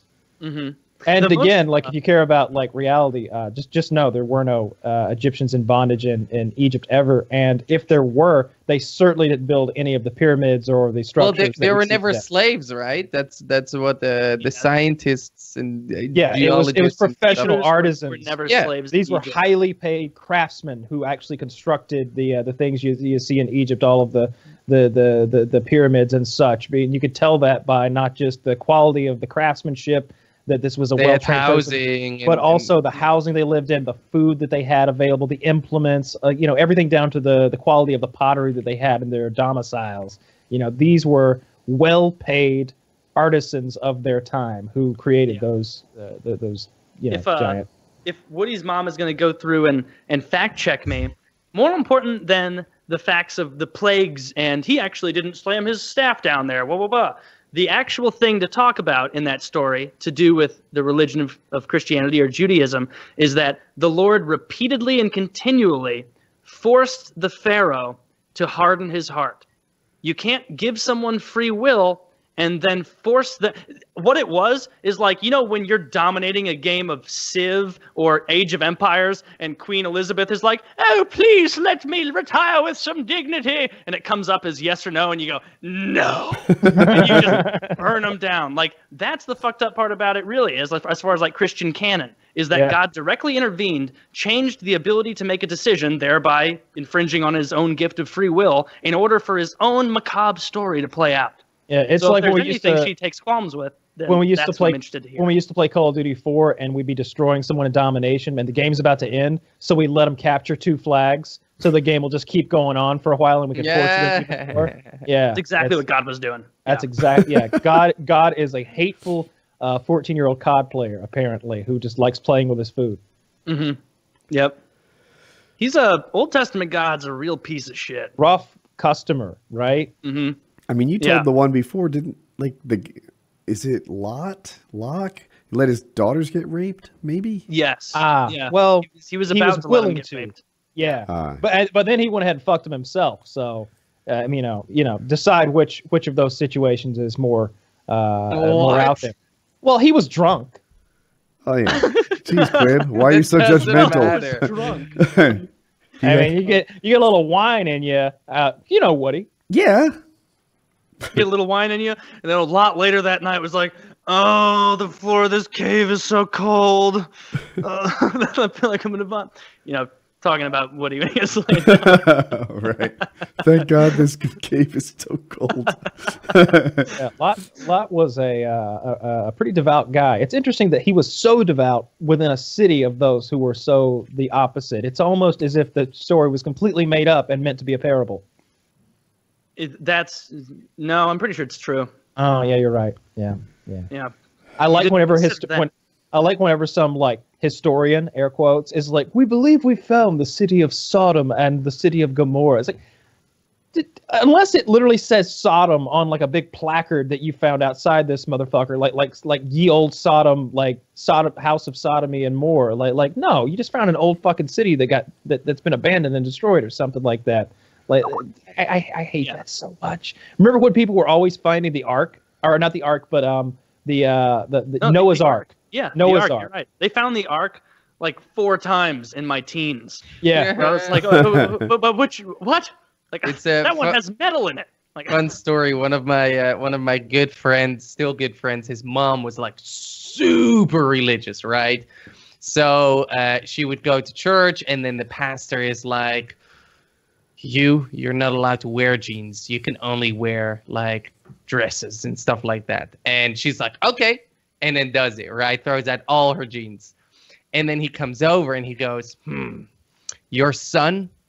Yeah, that computer of his, it's uh the demon is in the devil's inside of him. Demons are inside of him. And she like believed it and was like, So what do I do with his computer? And he's like, Give it to me. I'll make sure that I'll make sure that the demons they go away from your son. Yeah. And uh, she she would come up to me and be like, Jordy, like you you know there are demons in here, you don't go to church. I'm like, listen, like I was a 14, 15. I'm like, I don't believe in any of that stuff. You know, I respect you believing in it, and you know, I'm down to have a conversation. But please show me any any proof, any proof that any of these stories that you just told me is actually real, and I will research it. And and then obviously, I'm I'm super open to actually believe in something.